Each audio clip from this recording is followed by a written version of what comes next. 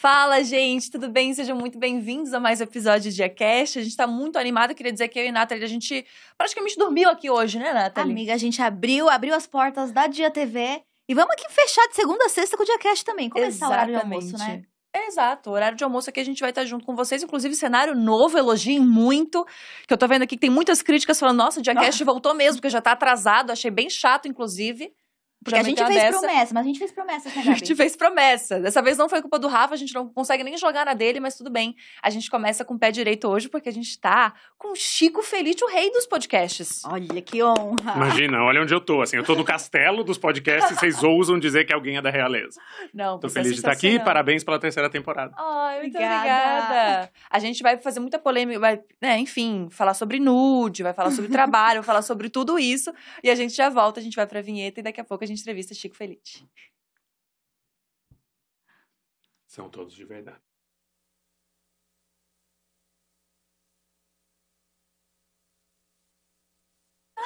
É, a gente, gente, isso é. Quando você falou nude, era real. Quando eu falei nude, é real, tem real. nude mesmo, não era meme. Não, é. é e são, são lindos, talvez jovem, não tenha visto. Não, lindo é bondade sua. Assim, é, é okay. porque a Gabi, ela sempre joga a pergunta nude. Eu fiquei, ah, nudes. Aí depois, não, não teve esse nude, episódio. É tudo verdade, cara. E eu não consigo, eu não posso negar, porque é, eu trabalho com a verdade, assim, é isso. É Fui verdade. jovem no centro de São Paulo, numa época que todo mundo fazia ensaio pelado a truco de nada, ninguém ganhava um centavo, tinha uns zines, eram uns fanzines, esse era gringo. Caraca. Daí chegou um gringo e falou, ah, quero te fotografar na sua casa, no chão de taco, aquela estética aquela mais coisa. clichê do mundo, samambaia. Só não tinha samambaia porque eu mato a samambaia.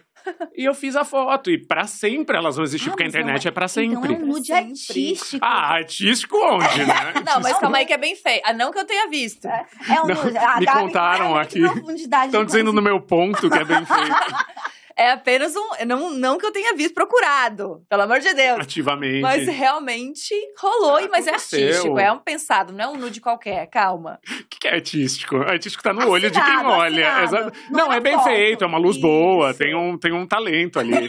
da parte de trás, não da parte da frente da câmera. Vários talentos. Vai depender de quem observa, é. Exato, exato. Mas é isso, tá na internet e, e tá lá. Assim. Isso tá na internet é verdade. É, eu gosto de pensar que, sei lá, na década de 80 e 90, toda atriz, toda mulher posava para Playboy e era aceito. Exatamente. Acho que nessa nova geração a gente vai ter uma, uma adequação é. que é a galera da minha idade, dos seus 35 anos, vai chegar num momento que vão falar, ah, 10 anos atrás você postou umas coisas peladas. Postei! Fazer Faz o quê? Só que ao contrário da Playboy, a gente não ganha dinheiro. É. Mas hoje em dia, a quantidade no frontal em séries, filmes masculinos, uhum. tá me pegando de uma surpresa que eu não, não, não, não, vivi vendo isso. Libera giromba, assim. É. giromba. Podia ser uma hashtag, inclusive. Eu acho que a gente Não, pode começar a utilizar disso. Mas é muito. Assim, as, as coisas foram mudando e tal, mas hoje em dia também não tá muito longe disso. Agora tem OnlyFans pra caramba, tem um monte de gente que, tipo, faz um monte de trabalho, um é. monte de coisa e ainda tem Only, assim, tipo, vida normal, Sim. entendeu? Não, e acho que cada vez mais a gente vai tomar, conseguir entender que as pessoas podem trabalhar com algumas coisas que não tem a ver com o corpo uhum. e ter uma, uma abinha paralela que tem a ver com o corpo ou ter feito alguma coisa em, em, algum momento. Assim, eu, quando consegui um primeiro cargo muito bom dentro de um jornal, trabalhava no maior jornal do Brasil, vieram falar, é, deram uma coluna pro ex-ator pornô. Sendo que eu não era ator pornô, não teria problema nenhum se eu tivesse sido, mas eu nunca, nunca fui ator pornô. Mas por um, uma foto artística. É, sei lá, não sei se era por causa disso ou por causa de alguma fofoca que tinham ouvido, vieram falar: ah, vem cá, você fez pornô? Eu falei, não, porque nunca me chamaram e porque não pagava bem. Assim, talvez tivesse feito, mas lá, acho que é uma nova geração. Assim, até a minha geração, isso não seria aceito de um jornalista. Assim, você não uhum. poderia ter feito certas coisas Sendo que a gente fez certas coisas e tá tudo bem. Sim. Uma coisa não impacta no, no, trabalho, isso não impacta no meu trabalho. Até porque acho que tem uma visão, acho que ainda existe essa visão de que jornalista é muito extremamente uhum. sério, né, Chico? De que jornalista não caga, né? De que jornalista uhum. não tem uma vida, de que jornalista não tem time de futebol, de que jornalista. É, é neutro. Exato, essa palavra neutro uhum. é, é, sabão de lavar louça, né? Exato. A única coisa neutra que existe é sabão de lavar louça. Eu tenho uma família, eu tenho uma orientação afetiva, eu tenho cachorros, eu tenho uh, um viés político. E tudo isso vaza nas suas histórias é, e posicionamentos. Porque até então era tipo, ah, vamos fingir que vocês não são humanas? Isso. Então, em nome da empresa, a gente vai fingir que vocês não, não defendem certas causas, que vocês não fazem parte de certos grupos, que vocês não têm uma vivência. Perfeito. Eu acho que com a internet e tal, vem uma geração ali da qual eu sou mais velho, assim, acho que a galera que vem para trás pega muito mais isso, que é não dá mais. Uhum. Não dá mais para fingir que eu sou. Que a gente não tem opinião. Exatamente, que eu não me beneficiei de poder casar com um homem uhum. 10 anos atrás, quando eu casei com meu marido. Uhum. Que era uma lei muito recente, uh, tinha sido aprovada, na verdade, a aprovação foi, foi ju é, via judicial, mas eu pude mudar de país porque eu pude me casar com meu namorado na época, senão não poderia. Então eu fui beneficiado. Logo, eu, óbvio que eu vou defender direitos humanos, óbvio que eu vou defender política de igualdade. Não dá para eu fingir que, ah, não tenho opinião sobre isso. Óbvio que eu tenho. Perfeito. Nossa, que, que, bom falar sobre isso, porque eu acho que existe esse, realmente esse, esse, tabu de que, nossa, jornalista uhum. não pode ter vida. Eu fui criado com isso. É aquele rolê do William Bonner, tipo, inteira. a gente fica imaginando ele com ele um short embaixo não do negócio. Saber pra que time torce, Exato. como se fosse uma grande coisa, não poder ver a pessoa desmontada, como Exato. se fosse uma drag. Só que a drag é o terno, assim, você não pode ver, senão vai perder a credibilidade. É não é por aí que passa a minha credibilidade. Uhum. Talvez seja o contrário. Talvez seja em assumir tudo que eu sou e dizer: é isso, fui moleque, fiz umas fotos pelada na varanda, fiz. Não, isso, isso não vai. identificação e Exato. relacionamento com as pessoas que vão passar a consumir um conteúdo já curado, né? Eu não tô indo ao Chico Feliz porque ele é neutro e trata as coisas uhum. de forma de, é. generalizada, sabe? Eu acho que para mim é mais não conseguir mentir Uhum. do que qualquer outra coisa. Assim, eu me acharia ridículo se eu dissesse, não, foi um hacker que fez uma. não, não fui, eu era moleque, eu tinha 21 anos, tinha acabado de mudar para São Paulo, achei massa, uhum. queria ver umas fotos minha pelado bonito e fiz. Mas acho que isso também é muito legal, Chico, porque te, te, te dá uma sensação de que você é uma pessoa como eu e que tá fazendo uma coisa muito legal Sim. e que isso tem uma identificação com a galera jovem. É, eu acho que porque no fim somos, né? No fim a gente é só, é só galera. Assim, ontem aconteceu uma coisa muito maluca que é um desconhecido me xingou, mas me xingou no Twitter do tipo sarrafada, assim. Do nada. E me xingou no meu perfil. Então não é que eu fui atrás, não uhum. quero saber o que estão falando. Assim, jamais quis saber o que estão falando. Ego search. A gente quase nunca quer saber o que estão falando. É veneno, assim, é botar cicuta numa, numa caneca e beber, assim. Uhum. Pessoa compartilhou um post meu e me deu uma puta de uma traulitada, assim, tipo, que merda, tá jogando sua carreira no lixo porque eu Oxi. tinha feito um conteúdo pra uma marca. Uhum. Oh. Eu só respondi, ó, vem cá, vi aqui, acho que você queria que eu visse, porque você compartilhou do meu post, logo vai aparecer para mim uma notificação. Achei bem cruel. Eu tô só no meu rolê tentando pagar as contas e fazer um trabalho digno e eu não tenho vergonha nenhuma do que eu fiz. É bem decente. Inclusive, vai lá conferir. Exato. Inclusive, é esse trabalho digno que paga o fato de você poder fazer uma produção independente Exatamente. e posicionada, né? E adivinha que ele respondeu? Desculpa, eu não achei que você fosse ver. É ah, isso. As eu pessoas... não achei que você fosse ver, é ótimo. Eu amo essa, é, é, essa lenda urbana do, do, das pessoas que trabalham com internet. É exatamente. A, a resposta é essa, assim, ó. Peço desculpas que você tenha se sentido assim. A minha intenção não era você ver, não. Mas agora que viu, espero que aceite minhas desculpas. Ou seja, ele nem se, você nem se justificou. Você, você sai ofendendo pessoa na rua e daí fala, desculpa, eu não quis. Caraca. Mas existe um preconceito com, com a internet, né? Você trabalha muito com internet, com podcast, enfim, você deve perceber Sim. no meio jornalístico quanto a galera realmente não, não gosta disso, ou uhum. acha que isso é menos. É menor é. e não entende. Uhum. Na concepção dessas pessoas. Assim, quando eu saí, eu saí de um jornalzão, trabalhei na Folha de São Paulo dos meus 19 aos meus 29 anos. Uhum. Então, jornal impresso, prestigioso, é, veículo mais importante do Brasil por muito tempo. Uhum. Hoje em uhum. dia, acho que esse, essa vaga aí é pulverizada, tá com vários outros veículos. Uhum. É, daí fui pra internet e os meus colegas não entendiam. Uhum. Eu já tinha 30 anos, já era editor, as pessoas não entendiam. E daí uma das primeiras coisas que eu fiz na internet foi o perfil do, do Ricardo Correia, que era conhecido como Fofão da Augusta, que era um texto uhum. gigantesco, que não ia caber no jornal nunca, e que daí as pessoas falam, ah, na internet ninguém quer ler, na internet ninguém quer ler, foi lido por milhões e milhões de pessoas nos primeiros dias. Daí, ainda bem que foi meio rápido essa transição uhum. do, da velha imprensa para nova imprensa para mim, que foi do tipo, hum, então quer dizer que ninguém quer ler? Hum, então quer dizer que não é relevante, não dá pra fazer. Ganhou uma caralhada de prêmio e tal, e tinha acabado de sair do jornal. Uhum. Foi tipo um mês depois que eu saí do jornal. E foi intencional? Você sabia que esse impacto era possível ou aconteceu? Não, é, é, é, se eu disser que foi, tudo é mentira. Assim, uhum. Mulher da Casa Abandonada, tu me perguntou, ah, você sabia que ia ser. Caraca, Cara, eu não sabia. Eu torço, eu gosto das histórias uhum. que eu encontro. Meu tesão é encontrar a história e meu tesão é contar a história. Às vezes eu acho que merece, merece, assim. Tipo, quando uhum. essa história do, do, do, Ricardo, do Fofão, viralizou, eu falei, cara, merece, porque é uma história muito linda e, e uhum. fala sobre muita gente, mas se a gente tem controle, não tem controle nenhum. nenhum. E eu aprendi a lidar com isso. Assim, eu posso fazer o trabalho da minha vida e ele pode ser um flop. A coisa que eu mais mereço, porque não depende de mim. Depende de um milhão de outros fatores que a gente não controla. E que bom que não, não se fica pensando sobre isso também, né? Eu acho que não tem condição. É, eu acho que a questão é você curtir mesmo, assim. Tem uma frase que eu gosto muito que é o sucesso é ser feliz. Uhum. Então, independente de quantos views vão, vão, ter, de quantas pessoas vão, vão, enfim, gostar ou não gostar disso, o importante é que você tá se sentindo realizado fazendo aquilo. E eu acho que isso é uma característica que dá para perceber das coisas que você conta, das coisas que você faz, assim.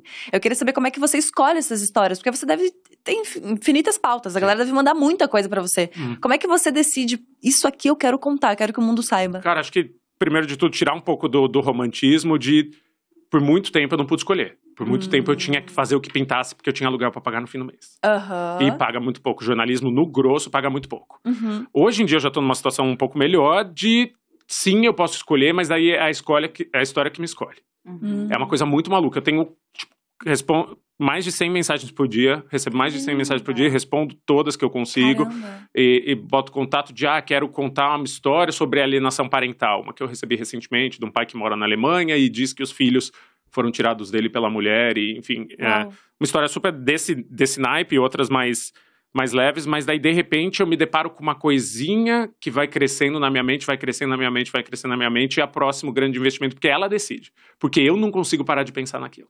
Hum, e pode ser qualquer coisa, pode ser a minha vizinha que passa pomada branca na cara e mora numa uhum. casa em Pandarecos, pode ser o artista de rua que tem o rosto disforme, pode ser a Elke Maravilha, que uhum. escreveu o livro dela, e atualmente eu estou obcecado por uma pessoa muito famosa do Brasil que a gente não sabe quem é. Assim, eu comecei a descobrir uma das pessoas mais famosas do Brasil. A gente não tem ideia do que foi a vida dessa pessoa no, no, nos backstages. Agora eu quero spoiler, é, Chico. É, você tá soltando algo que vem aí, então. Acho que vem aí, eu tô tentando que vem aí. Porque é assim. é sempre esse processo, né? Só termina é. quando no meio, né? Você entende o que é no processo. No processo. Não, é que nesse eu, eu tenho mais ou menos entrada, não tenho nem muita entrada. Assim. É muito parecido com o da Xuxa. Eu sou obcecado pela Xuxa há décadas. Porque. Quem não é, né? Não, é que a vida dela, assim, a, gente não tem noção. Assim. Uhum. Ela foi sequestrada por um presidente brasileiro da ditadura, ah. levada para um hotel de Detroit, onde ele, Isso segundo ela, se encontraria com ela para fazer sexo com ela, e ela foi salva pelo Pelé. Isso é tipo uma página do livro da vida Só da Xuxa. Só isso já, tipo, Caramba. rende quatro podcasts. É isso, cara. Então eu fico sempre de olho nas coisas que me interessam muito e que eu acho que tem potencial, assim. É, então. Perdão. E te acompanhando justamente, a gente percebe que você se entrega de forma absurda, uhum. né? Você conta com uma série de informações, viagens, você investe financeiramente também, além de tempo hábil. Quando você se dedica nessas histórias, elas acontecem de forma única ou você mantém outras paralelamente? Você vai pesquisando várias ao mesmo tempo? Adoraria que fosse de forma única, mas daí de novo entra o boleto. Uhum. Então, precisa fazer isso enquanto eu escrevo um livro, enquanto eu faço. E eu faço umas coisas de marca, assim, de publicidade, que são muito legais no final. Uhum, uhum. Então, fazendo um trabalho para uma farmacêutica que foi justamente. Eles me, chegaram em mim e falaram: a gente quer muito que o mundo conheça essa doença que é muito rara. Tipo, faz um documentário sobre, não vamos te dizer nada, assim, só mostre o que essa doença existe. Nossa, que e legal. é a terceira vez que isso acontece, assim. Então, existe sim a possibilidade de conseguir recurso de um lado para investir em outro, para depois pagar minha viagem para fazer a uhum. mulher da casa abandonada, ou minha viagem para fazer o ateliê. É, enquanto fazendo uma história que é justa e, e, tem uma marca por trás, tem publicidade por trás, mas tem como achar ali um, uns nichos que são legais. Assim, é, essa eu acho é. muito massa que é, e é realmente, a pessoa não vai mexer no meu texto, não vai mexer em nada, ela só, cara, é interessante que o mundo saiba que essa doença existe. Porque Isso no é fim é a sua capacidade de contar histórias, quaisquer que sejam, né? Uhum. Seja de personagens e situações ou de algo de natureza biológica e ainda, tipo, escondido é. para a maior parte das pessoas. E a Gabi falou, né? Como é que você escolhe essas histórias. Então, é esse chamado interno. Você ah. tem que se apaixonar uhum. ou se interessar ou acreditar que aquilo tem algum motivo. Tem que me consumir primeiro para depois uhum. consumir as outras pessoas. Eu acho que tem que ser interessante para mim. Eu sou meio um uhum. balão de ensaio, assim. Eu sou a cobaia da própria história. Se me consome, pode ser que consuma as outras pessoas. E faz todo sentido, porque a gente já viu isso acontecendo na tua carreira, é. principalmente mais recente, de diversas formas, né? Uhum. A Mulher da Casa Abandonada, eu acho que para muita gente foi um, uma reapresentação ao gênero áudio, histórias em áudio, e uma apresentação inicial ao podcast. A maior uhum. parte das uhum. pessoas não ouvia, não sabia nem onde procurar, né? E justamente porque elas talvez sentiram o mesmo, a mesma afetação que você sentiu ao lidar com essa história, e o mesmo aconteceu com o ateliê, né? Sim. E é muito engraçado porque é, sem querer cortar a tua história e indo pro final, mas com a Casa Abandonada eu acompanhei durante e com o Ateliê eu acompanhei no pós. Eu vi a reação de todas as pessoas, Twitter, que a uhum. gente não faz ego search, mas manda tudo, né? Uhum. Ah, sempre cai, infelizmente o algoritmo tá cada vez mais violento com as nossas autoestimas. Não, e as pessoas mandam. Uhum. Acho que chegou num, a partir de um certo saiba. ponto. Ela é. Eu, eu, passei a ser servido pelos motoboys e motogirls de treta. Uhum. Que são as pessoas que tiram o print da pessoa falando mal de você e, e te, te mandam. Uhum. É e não manda mais nada. Exato, não manda mais nada. Eu, eu só respondo. O que, que você quer que eu responda? Você quer? Eu só vou responder com smile, eu só vou responder com já vi. Perfeito. Eu não vou repercutir. Não é meu. Eu respeito a opinião da pessoa. Uhum. Nossa, e o, o teu trabalho é muito difícil nesse sentido, né? Porque a pessoa, ela tem. As pessoas geralmente têm umas opiniões muito fortes sobre aquilo que tu tá publicando. É quase uma, é uma ofensa pessoal para elas, ah. assim.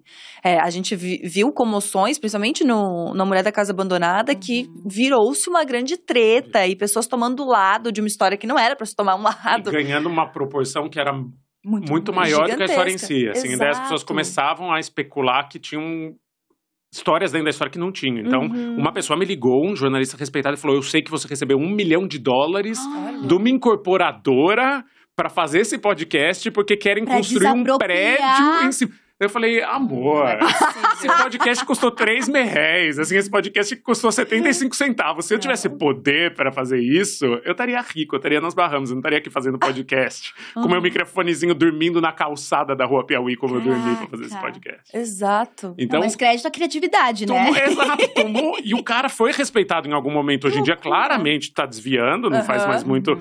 Mas era um jornalista respeitado. Me ligou num domingo para dizer isso. Eu sei que são incorporadores que estão por trás. Falei, podcast é ouvido por seis pessoas, que poder tem podcast, uhum. assim, quem ia investir nisso, assim?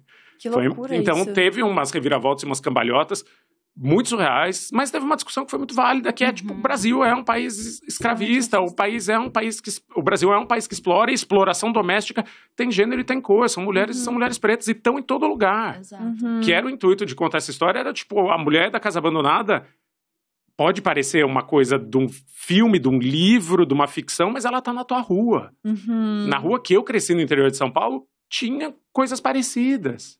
E eram lidadas com naturalidade. Assim, tinham três casas na frente da minha casa, que cada casa eles usavam o verbo trazer. Cada casa uhum. tinha trazido uma irmã diferente da Bahia para trabalhar e todas elas tinham tipo 11, trazer, 12, 13. Trazer. É, é, isso, como era tirar a personalidade da pessoa, tirar a humanidade da pessoa como se fosse uma coisa. Exato. Eu acho que isso impactou muito, né, no sentido, se a gente pensar também no que tem acontecido recentemente, né, não dizendo que é por conta do, do podcast da Mulher da Casa Abandonada, mas a gente tem visto tantas mais denúncias Sim. sobre trabalho análogo à escravidão. A questão do, do vinho no sul, é isso, você pega casos, está no Brasil inteiro. A questão do Lollapalooza, uhum. de repente as pessoas começaram a olhar que isso é possível em pleno século XXI, em pleno 2023. Isso não tá longe, né? Não, e, e, e, você tinha que ter uma aproximação desses assuntos por questões raciais ou proximidade uhum. de família, né? É isso, a história história me machucou muito, porque é a história de vós, é a história de tias, de primas, e você ficava com cada vez mais ódio. E a reação dos outros em relação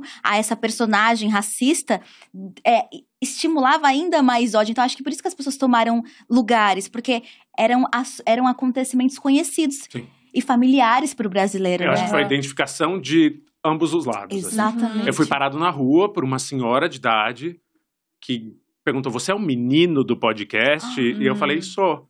Ela começou a berrar. Você está jogando na lama o nome de uma família boa. Você oh. não sabe o que você está fazendo. Você não tem dimensão da gravidade. Identificação. É isso, porque o que leva uma pessoa. Eu não tenho resposta ainda, acho que um dia eu vou saber, assim, mas o que leva uma pessoa a a defender alguém nessa situação. Eu acho uma coisa muito curiosa sobre isso, acho que a gente vai falar um pouco mais sobre esse podcast, sobre, enfim, as, as, grandes reviravoltas, mas tem uma coisa que eu acho muito curiosa, que é, você faz um trabalho que é mexer no vespeiro, né, tipo, de uhum. coisas muito, enfim, profundas, realmente, é, tipo, muito obrigada. Uhum. Em Genópolis, e falando sobre racismo, e, enfim, mexendo numa coisa muito específica, só que você mostra a sua cara. Te alcanço aí? Ah, eu aceito, obrigada. Só que você mostra a sua cara, você é também uma figura pública. Uhum. É Você maluco, não tem medo? eu não sou, né? Eu não era até recentemente. Daí eu não. Exato. Eu, eu acho que eu tô em negação, assim. Eu acho que eu não sou, assim. Eu ajo Gente, como se eu não fosse, pelo é menos. Acho isso pode atrapalhar um pouco o processo. Pode, né? Acho que no seria, ateliê foi outra coisa. Seria a ruína da minha vida eu ser reconhecido num lugar se eu tô investigando. Exato. Porque eu não passaria batido. Acho que muito do que eu consegui, sei lá, no caso do João de Deus, Eu consegui porque eu era um, um, moleque tatuado de regata e bermuda andando pela cidade. Uhum. Fiquei lá um ano e ninguém entendia que eu era um repórter, ninguém entendia que eu estava investigando. Isso é bom.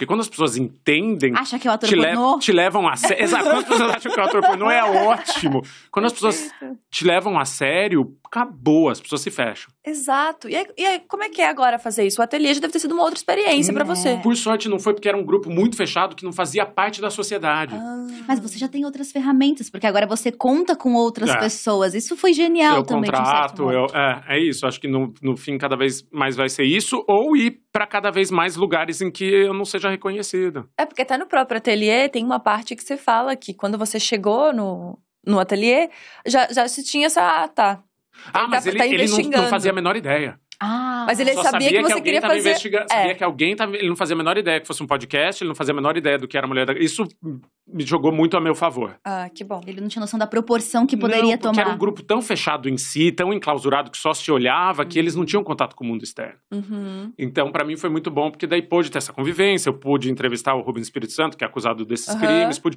Tudo rolou como se não fosse nada, assim. Mas acho que saiu de São Paulo e Rio de Janeiro, para mim, é de boa.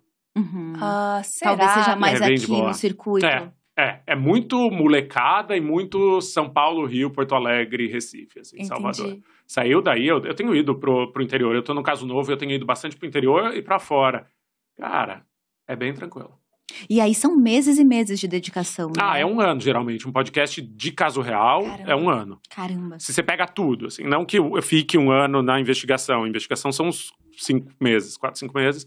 Mas daí tem, enfim, produção. roteiro, produção, a coisa de lançamento que cada vez ficou meio. Agora é uma decisão grande, antes não era, agora virou uma coisa relevante. Então eu digo um ano, enquanto eu vou fazendo outras coisinhas, porque não dá para ficar um ano esperando para lançar uma coisa. E o processo disso deve ser muito curioso, né? Porque é uma investigação, então você trabalha com fatos, só que existe um, um lugar onde você tem que tornar essa história interessante. Sim. Então ela tem um roteiro, só que não necessariamente o fim que você espera, que você gostaria. Sim. Então você trabalha com fatos, mas trabalha com uma narrativa em cima disso. Sim. Como é que é o processo de, de pensar em, em escrever realmente uhum. isso, assim, de, de, colocar isso no mundo? Ah, para mim é muito. Escrever podcast é escrever livro, é a mesma uhum. coisa, assim. E uhum. eu, eu cresci e me formei com essa o texto precisa ser interessante, o texto precisa andar, o texto precisa ser conciso, ou seja, sucinto, não, não pode ser muito longo. Mas às vezes você não tem controle, às vezes uma história é muito, muito, muito pesada. O próprio ateliê, por exemplo, que terminou agora. Eu saí do ateliê com uma rebordosa, porque era uma história tão pesada, Nossa, uma história tão lúgubre, que eu às vezes penso que. Pô, será que não, não era melhor ter feito num texto? Será que não era. Hum. Mas acho que não, assim, mas é só um tom diferente. Cada história tem um tom.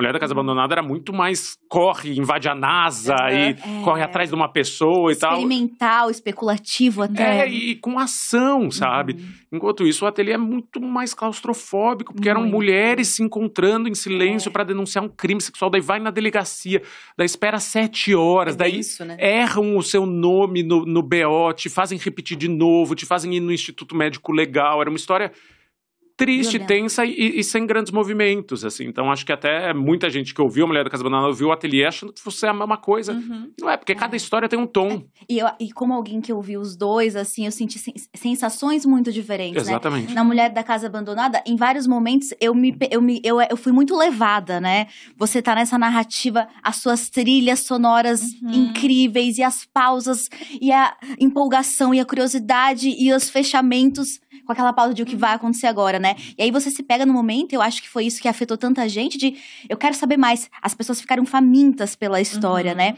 E a gente não sabia o que estava acontecendo até uma parte daquele momento, porque você ficava mantendo aquele mistério, talvez, não sei se intencional ou não. Super intencional. No de quem ateliê. Que é essa mulher, né? No ateliê, logo de cara, a gente já sabe do que se trata. É. Isso já te breca, isso te te prepara no coração, talvez, e os avisos constantes do que se trata uhum. é, também te preparam para receber toda essa informação, essa história que é construída com a mesma perspicácia e o mesmo interesse técnico e de roteiro e, enfim, musical, de uma forma diferente. Houve um aprendizado nessas duas obras? Você entendeu que isso precisava ser mudado ou eram as histórias que construíram Bom, outras narrativas? Eu acho que a história é completamente diferente. Uma é, é um uma música eletrônica e é uhum. alucinante, e anda e acontece muita coisa, e pega avião, e o, o, o, vizinho e alguém joga alguma coisa e sai correndo. E a outra é um tango, assim, é, é bem uhum. devagar e é bem, então isso é natural. Mas teve sim, eu não podia, por exemplo, não colocar a voz do acusado em todo o episódio, no mesmo trecho, dizendo que ele não tinha cometido os crimes, segundo ele. Uhum. Porque isso seria imprudência jurídica. Ah. Eu sou obrigado, pelo ofício de jornalista, a dizer que uh, o Rubens Espírito Santo, porque ao contrário da Margarida Bonetti, ele nunca tinha sido formalmente acusado nem julgado. O caso dela foi julgado, por mais que ela não tenha sido julgada, o marido foi julgado e condenado. Logo, o crime existiu. Uhum. Aos olhos da justiça americana, o crime foi confirmado. Nesse caso, eram mulheres se unindo para denunciar um homem que não tinha sido denunciado. Uhum. Então, então tinha que ter essa imparcialidade. O dever do ofício eu era obrigado a colocar ele dizendo não, não mesmo trecho. É, não fiz nada. Posso colocar sete brincos no seu ouvido, que era sempre o mesmo uhum. trecho. Não. Teve gente que se cansou, mas é isso, precisa. Mas de uma certa forma, eu acho que esse trecho até contribuía para todas as narrativas, porque você tava. Muito. É, você tava se sendo. Você se sentia como talvez a, a vítima sendo manipulada por é, aquela voz exato. constante que justificava as violências que fazia, né? Então, de uma certa é. forma, por mais que fosse uma fala de defesa, a gente conseguir entender, talvez em, um, em pequenos segundos, uhum. um pouco dessa experiência que a gente nunca vai ter nem dimensão do que aconteceu, né? E existiu uma, uma glamorização numa Mulher da Casa Abandonada que não teve no ateliê, que foi muito assustadora, assim, né? De caso de Luísa Mel, a TikTok de todo mundo fazendo daily, todo mundo e as pessoas te cobrando essa glamorização uhum. também de, olha onde isso foi parar. Ela recebe, que... ela recebe flores, né? Ela tem fãs hoje. Ela tem, ela fãs. tem fãs. Tem gente que vai até lá e leva flores para ela. E, diz, e esse era zero o, o, o, que tu queria Não, e era zero o rosto. Exato, você vê a pessoa que foi demitida porque foi lá, fez uma foto na frente da casa com pomada na cara, postou nas redes sociais, foi demitida do emprego. Meu Deus. Tem, tem tudo, assim, tem os desdobramentos mais surreais que você possa pensar. E como, como jornalista, o que, que você acredita que. O que, que você acredita que causou isso? Não faço a menor ideia. Eu quero um dia ser capaz de responder essa pergunta. Eu, eu, é, eu gosto muito do, dos dois, assim, mas são realmente completamente diferentes. Tanto o ateliê como a mulher, a mulher da Casa Abandonada. E eu fico sentindo, e aí, enfim, acho que é uma coisa para se trazer para questionamento, que o, o relacionamento com o crime é diferente. Porque o racismo, as pessoas meio que se identificam e passa batido, tipo, nossa. Todos somos. Todos somos, né? Uhum. E tem um entendimento de que, coitada, é uma senhora. Porque as pessoas passam batido pelo racismo como se não fosse um crime. Uhum, uhum. E parece que a simpatia toda que as pessoas gastaram com a mulher que é racista, as pessoas não utilizaram no ateliê.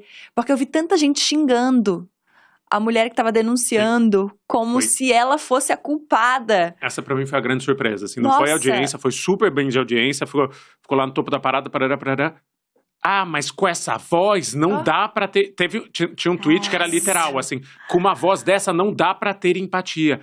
Oi, nós estamos falando de uma vítima de crime físico, uma vítima de crime sexual, assim. Uhum. Você acha o tom da pessoa desagradável, logo você fala. Uhum. Eu nunca vou entender. Esse tá aí, outro que eu nunca vou entender. Óbvio que uhum. Um, imagino que tem uma carga gigante de misoginia. Uhum. Claro. Porque os homens que, que aparecem na série, ninguém pegou pesado Questionou. com eles. Uhum. Mas é isso, uma mulher que teve coragem para não só denunciar o que ela dizia ser uma seita, como vinha público para uhum. milhares, milhões de pessoas ouvirem, vira e fala: sua voz é chata?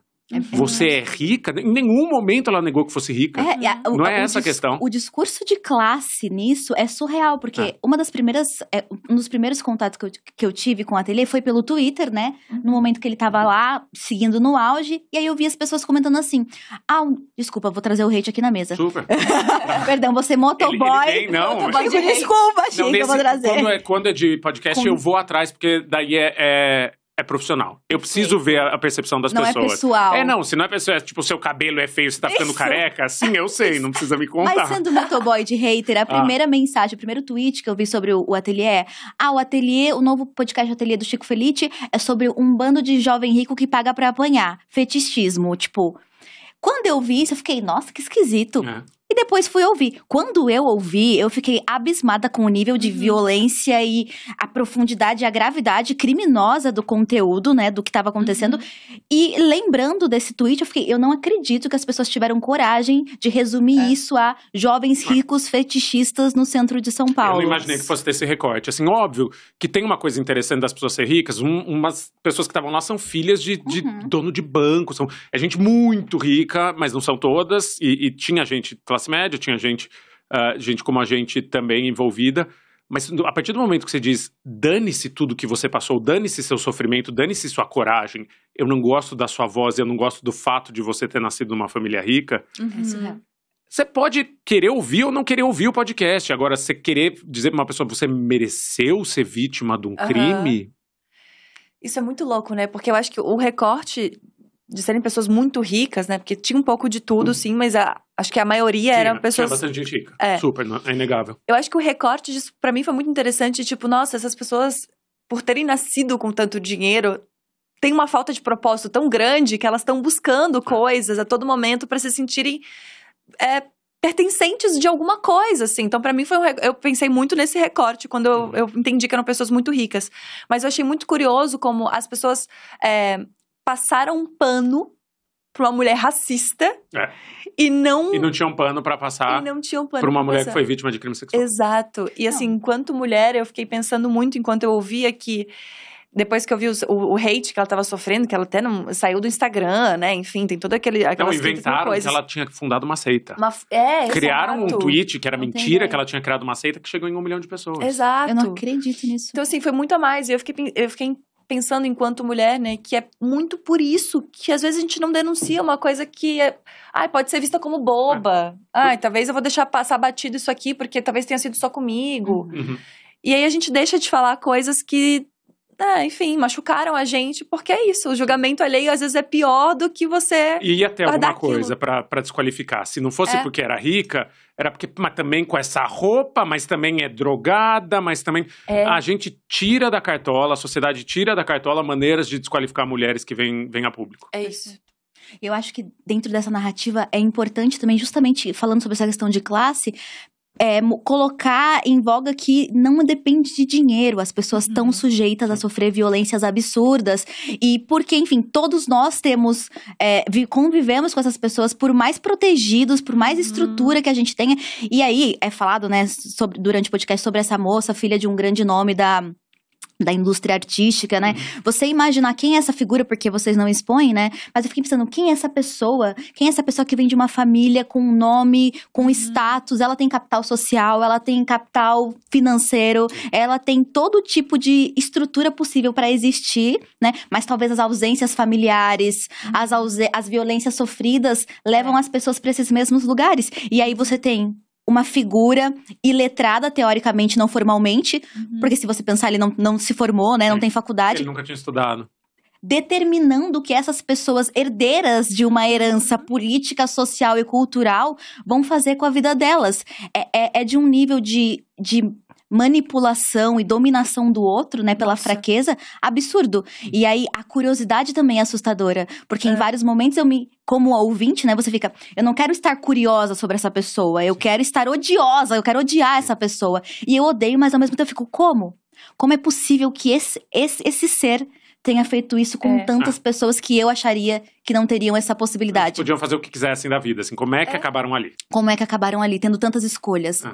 É muito, assim, um dos episódios que eu mais gosto é justamente o que fala sobre relacionamento abusivo, porque eu acho que isso dá um, um panorama, assim, pra gente entender realmente o que que enfim, entender as relações abusivas e entender por que aquilo acontece, assim.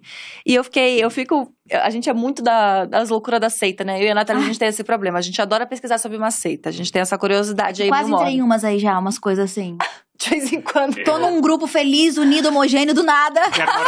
É seita, é seita. Vou mudar pra cá. Vou mudar pra essa chácara, vou só usar essa roupa branca que eles usam. Parece uma ótimo. Meio... Opa. Assim. E do nada você, putz, vamos embora. Só pode comer é repolho. Seita. Opa, calma. É, que é o rolê do yoga. Lembra que a gente falou sobre a isso? A gente descobriu uma seita uma perto seita de casa. yoga. Olha isso, Tem é uma muita. coisa, enfim. E eles começaram a me ligar, né, depois do ateliê. Ah. Eu comecei a receber ligação de todo mundo que já fez parte de uma seita. É, e aí tem muitas, tem né? Muitas. Nas grandes metrópoles. É isso, depois eu, eu, mostro para vocês numa bandeja todas as possibilidades de, de seita para vocês não caírem. Fala, fala, algumas. Cara, tem três seitas da yoga grandes. Uhum. Acho que uma a gente que, conhece. Enfim, uma gente sabemos, já. já teve até gente que foi denunciada, mas nunca foi... Uh, mas tem de um tudo, assim, tem ashrams, que também daí são meio parecidos, né? Uhum. Tem seita de blogueira, tem que vocês seita... também ah, talvez saibam qual é. Tem seita de Essa blogueira. Essa aí, seita de blogueira, quando eu ouvia. É. Eu só pensei em seita de blogueira. Eu pensei em seita de blogueira também. Tem Ixi. seita de coach que leva o coaching para muito além, para homens, sabe esses homens, ó, grito da masculinidade. Nossa. Tem uma que é meio, eles moram todos juntos e eles têm um líder no Brasil. Em São Paulo, provavelmente. Não, pior que não, é no interior do Rio. Caraca. Tem muita coisa. Por e eu ligava e eu ia. essa necessidade humana aí de, de entrar numa seita, ah, acho gente? Que tem muita aprovação, tem muita gente que é muito chegar lá, né? É. E chegar lá é abstrato. Então uhum. a gente uhum. precisa de, ser, de aprovação. E a aprovação no mundo não vai vir nunca. Uhum. No momento que a gente entendesse isso, que nunca o mundo vai passar a mão na nossa cabeça e dizer você é ótimo, você é ótima, você conseguiu ali, tudo, parabéns. É. Acabou. A gente nunca vai ter aprovação. Daí a gente atrela a nossa costura, a nossa aprovação a uma figura que uhum. é um uhum. pai ou uma mãe que, que vai daquilo que a gente não tem. Porque não adianta, no mundo nunca vão dizer, puta, você é maravilhosa, todo mundo te ama, você Exato. chegou lá. E fico pensando, como é que você se envolve como pessoa e esquece Chico Felite, porque aí descobri que esse é seu nome ah. artístico, né, Chico? Eu falo, ah, eu uso Chico Felite. Meu nome é Roberto Muniz.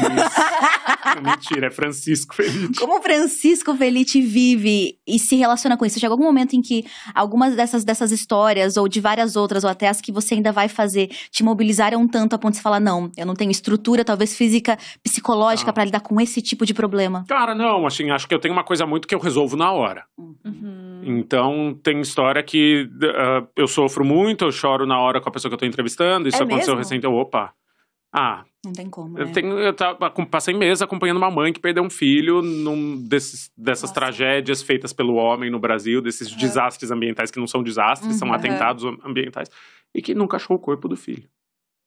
Nossa. E que tá lutando pra achar o corpo. E daí você vai passar, tipo, tardes e tardes com essa pessoa, entrevistar essa pessoa e você não vai chorar uhum. em face da pior coisa que pode acontecer, da história mais uhum. triste. Então eu, eu me resolvo. A, a minha resolução é sentir o que eu tenho para sentir e compartilhar com a pessoa que eu tô sentindo. Eu acho que meu tipo de trabalho permite. Assim, claro que se você é um repórter que vai entrevistar uma pessoa por 15 minutos e nunca mais vai ver essa pessoa, não tem convivência, não tem liberdade. Você precisa. Profissionalismo exige que você seja sério, que você se mantenha na é, compostura e tal. Um você ano, não se né? envolve. Você fica um ano com uma pessoa, ou é isso, ou você. Mas às vezes você perde um pouquinho a crença na humanidade. Olha que Nossa. eu sou uma pessoa doentiamente otimista. Assim. E como é que é lidar com a frustração de às vezes não ter um encerramento? Perfeito. Você ah, continua acompanhando, você continuo, consegue. Eu continuo acompanhando todos os casos, acaba virando um penduricalho, sabe? Um filho que eu vou acompanhar para sempre. Então. Nossa, deve ser muito desesperador. Mas a coisa de não ter fim, eu, na verdade, gosto, porque eu acho que é a diferença da ficção para não ficção. Uhum. Quando você tá contando uma história real, você vai criando. E daí você acha que vai terminar e vai se resolver. Nada se resolve nunca. Uhum. Nada se resolve, nunca. A mulher nunca vai ser presa, porque o crime prescreveu. Nossa, dá uma sensação de impunidade que é muito absurdo da gente entrar em contato, porque a gente a gente tem uma coisa na nossa cabeça quase infantil de que existe o bem, existe o mal Sim. e o bem vai vencer o mal é, e tá tudo bem. A gente acredita na força da internet, é, né? Justiceira. Isso, a gente acredita na força da internet, uhum. que vai rolar uma mobilização. Isso. Não, mas agora ela vai pagar de um jeito ou de Agora todo mundo sabe onde ela mora, é. e a gente vai na casa dela fazer TikTok. No começo até poderia ser ter um, um quê de denúncia. É, mas ela tá recebendo flores, entendeu? Então, não, não existe esse bem e o mal que a gente tenta acreditar, eu assim. Acho eu acho que, que a realidade, para lidar com a realidade, trabalhar com realidade, trabalhar com documentário e jornalismo, você precisa, primeiro, aceitar que você não tem controle. Uhum. E, segundo, aceitar que o final nunca vai ser satisfatório. Nunca vai ser o final que você quer. Mas por isso mesmo ele é bom.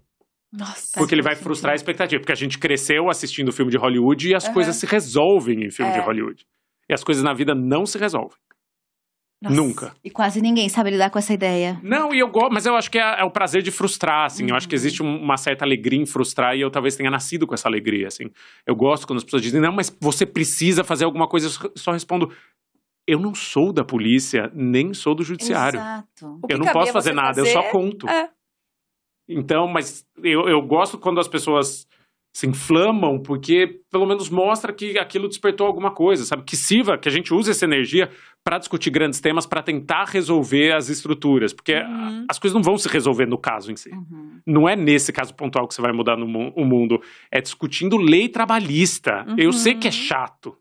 Mas é assim que se muda. Exatamente. É que não é um ca esse caso, né? Esse, resolver esse caso, resolveu é. esse problema no Brasil. Não, é, não é sobre isso, né? É. Na, na, verdade, o que você faz é colocar uma lupa bem pequena sobre uma experiência dentro de um problema Sim. que é amplo uhum. e social, né? A Margarida é um problema amplo e social. Uhum. O ateliê é um problema amplo e social, mas você conta a história de grupos ou de indivíduos. E aí fico pensando aqui também se talvez a, a, acrescente a sede das pessoas, né? De consumir, de entender mais, para além de toda a, a, elaboração teórica e a dedicação para os podcasts, se não vem também do crescimento do gênero de true crime, né? Uhum. As pessoas, ao longo dos últimos anos, começaram a consumir muito esse conteúdo, principalmente norte-americano, uhum. entendendo esses crimes, essas histórias norte-americanas. Vai começar a fazer muito, tá fazendo muito, né? Exato. Hoje acha... reestreia o, o Linha Direta. Exatamente. Gente, isso é muito louco, é muito curioso. É. Que, que agora o Linha Direta, tipo, tá voltando. Voltou. E faz sentido nesse movimento. Faz muito, faz muito. E tem gente que assiste isso, né, e ouve podcast assim, tipo, pra dormir, é um momento de relaxar, Sim. assim, é uma coisa, pra mim é uma coisa muito assustadora, Eu assim. não sei ainda o que rola, mas que rola, uhum. rola. Porque é isso, assim, eu, eu lanço outros podcasts que são de outros assuntos, audiência é massa. Eu lanço podcast de caso real de crime, dez vezes mais audiência. Uhum. Mesmo que seja, tipo, ah, não, não gosto, dez vezes mais audiência. Porque, é, como é se explica isso? Eu tava ouvindo uh, recentemente o Gente, né? Agora Sim. que você fez. E a trilha é muito mais... Inter... É, não, eu amo. É, é um projeto leve pra mim. Assim, Exato. é isso. Eu, é um documentário de um menino de seis anos vendo um cavalo pela primeira vez. Parece a coisa mais banal do mundo, mas eu acho lindo. Eu acho poético. Uhum. E acho, tipo, não, e tem a mesma, o mesmo preciosismo que você usa em todos os é outros, você trampo. usa nesse. É uma só que, trampo. E é, uhum. e é interessante isso, é interessante esse conteúdo, né? Porque se fossem só sobre histórias, todos os conteúdos feitos pelo Chico Felite, roteirizado, uhum. com toda a estrutura de Teriam podcast. o mesmo alcance. Não mas tem... não é só sobre as histórias, é não. é sobre o crime fundamentalmente, né? É. A gente é. gosta muito, mas enfim, até eu gosto muito. Eu me divirto muito uh, investigando crime. Não vou mentir que não. Assim, uhum. não que eu goste do crime em si porque, sei lá, recentemente eu entrevistei a Narcisa. A Narcisa vai estar no próximo podcast de crime meu porque ela tem um envolvimento indireto com um crime com o, a, vida desse, dessa pessoa famosa. Então, vocês imaginem eu correr. Não, a pessoa famosa é, é, não é nem ah, crime. Então é Agora você tem que explicar isso melhor, Chico. Você não pode soltar essa informação de que a Narcisa tá envolvida eu indiretamente num crime. melhor. Pelo amor de Mas Deus. eu posso adiantar que tem uma cena de eu correndo atrás da Narcisa Tamborindeg, perguntando ela sobre uma coisa que ela fez e ela respondendo outras completamente diferentes. Ela tira um quadro dela com o Roberto Carlos da parede e fala: Olha eu e o rei, o meu vestido e eu, Narcisa, eu estou te perguntando uma coisa: você fez ou não fez determinada coisa? É embate pessoal com a Narcisa. Ah, eu, a, Ariano, né? Eu amo. Ariano. Ariano. Puta, quanto não, menos, faz tanto, faz sentido. Quanto menos fogo. azeite tiver nas relações, melhor. Assim. Quanto mais conflito tiver e mais sincera uh, sinceras elas forem, melhor eu me dou. Assim, uhum. eu sou uhum. péssimo de diplomacia. Uhum. Eu sou que péssimo ótimo, de entrar né? numa reunião e você sabe trololó, essas reuniões que ninguém fala coisa uhum. com coisa, e tá todo mundo sendo meio gentil e todo mundo. Uhum. Eu sou a pessoa que fala, calma, você acabou de dizer três frases e elas não significam nada. Nada. É isso. Isso é uma coisa que eu fico pensando muito quando eu tô ouvindo os teus podcasts. Porque quando você tá confrontando a pessoa, eu fico tipo, nossa, mano, eu já estaria, tipo, apavorada de ter que estar tá falando esse dado tipo o primeiro coisa. passo. Quem dirá entrado, é. corrido. Não, mas você fez ou não fez? Não, mas você tá, falou tal coisa. Não, você é. acabou de falar tal coisa. Eu, gente, eu não sei é discutir uma, assim. É uma lógica que é minha mesmo, assim, é meio obsessiva de eu preciso ter uma resposta. E se a pessoa me enrola, uhum. eu não vou sair de lá enquanto eu não tenho a resposta. Seu marido não deve ganhar uma discussão, né? Ele ganha todas, ele é de Libra. Ah. Então ele tem carisma, ele me engana. Ah, o segredo entendi. do Ariano é não bate de frente faz de trouxa pelo lado e pelas costas. Porque se ele perceber que tá sendo confrontado. É isso, aí daí ganha. a gente noia. Mas se você manipula e eu faço o que você quiser e eu ainda sou cheio de energia para fazer o que você Por quiser. Por isso que tá casado e bem, né? É isso, ele me manipula completamente, assim. Ai, tipo, amei. ai, vamos viajar, vamos. Daí ele faz um jeito de sugerir o lugar, daí eu finjo que eu escolhi o lugar, daí ele escolhe ah. o hotel, eu. eu, eu, eu talvez acredite que eu escolhi o hotel e eu ele faz tudo do jeito dele. Ah, é um relacionamento equilibrado, tem que ser, tem que conhecer o outro. E saber é, como existir com e jogar ele. contra, exatamente isso. Perfeito. Agora tem uma pergunta pessoal. Ele, por acaso, se envolve nas histórias assim, junto hum. contigo? Fica no nervosismo não, junto? nem ouve. Nem ouve? Não nem ouve. Ele investiu no último, entrou com uma grana e uhum. tal, virou produtor executivo, porque ele trabalha com, com TV, sempre trabalhou uhum. a vida inteira, mas, tipo, ele nem ouve podcast de novo. Por isso, acho que o casamento dá certo. Uhum, Uma vez a gente foi no, na Noia Minha, inclusive Camila veio aqui. Ah, perfeita. E ela perguntou para ele: vem cá, você ouve os dele? Ele falou: não. Daí ela perguntou: Você já ouviu É Noia Minha? E ele falou: Não, nunca. Ele foi o primeiro convidado que foi lá sem nunca ter ouvido. Maravilhoso. Acho que é por isso que dá certo também, porque eu quero fico tentando agradar ele eu nunca vou conseguir. Perfeito. Porque ele caga, assim, eu posso fazer, tipo. E, e ele, você consegue separar também, né? É. Porque tua vida já é tão envolvida nisso. Você consegue olhar para alguém que tá pensando em uhum. qualquer outra coisa, pensando em como te manipular pra ir pras férias em uma é. cidade que talvez você não iria. É. é. esse equilíbrio é importante, né? E fico pensando, vivendo tanto, falando tanto sobre essas coisas, você tem aí falando sobre Chico Felite por Chico Felite. Você tem lugares na sua vida e pontos de escape para tudo isso, sabe? O que, que você faz nas suas horas vagas quando você não tá perseguindo racistas pelo bairro de é. Gianópolis? Cara, eu tenho cachorros, né? Eu amo cachorros. Tenho três cachorras que eu amo e sou um pai de pet excelente. Se Ai, tivesse um prêmio pai de pet, eu, eu ganharia. Eu faço tudo, dou banho, levo elas passear oito vezes por dia, sabe? Vejo, sou muito próximo da minha mãe, então a gente se vê todo dia, eu nado muito. É isso, assim, porque de resto, eu não vou mentir, eu sou uma pessoa que trabalha umas 20 horas por dia, 7 dias por semana. Não, e, e, a gente lendo aqui o teu roteiro, entendendo quem é o Chico Felice, como na, nasce, vive uhum. e o que pratica. E a não gente... se reproduz.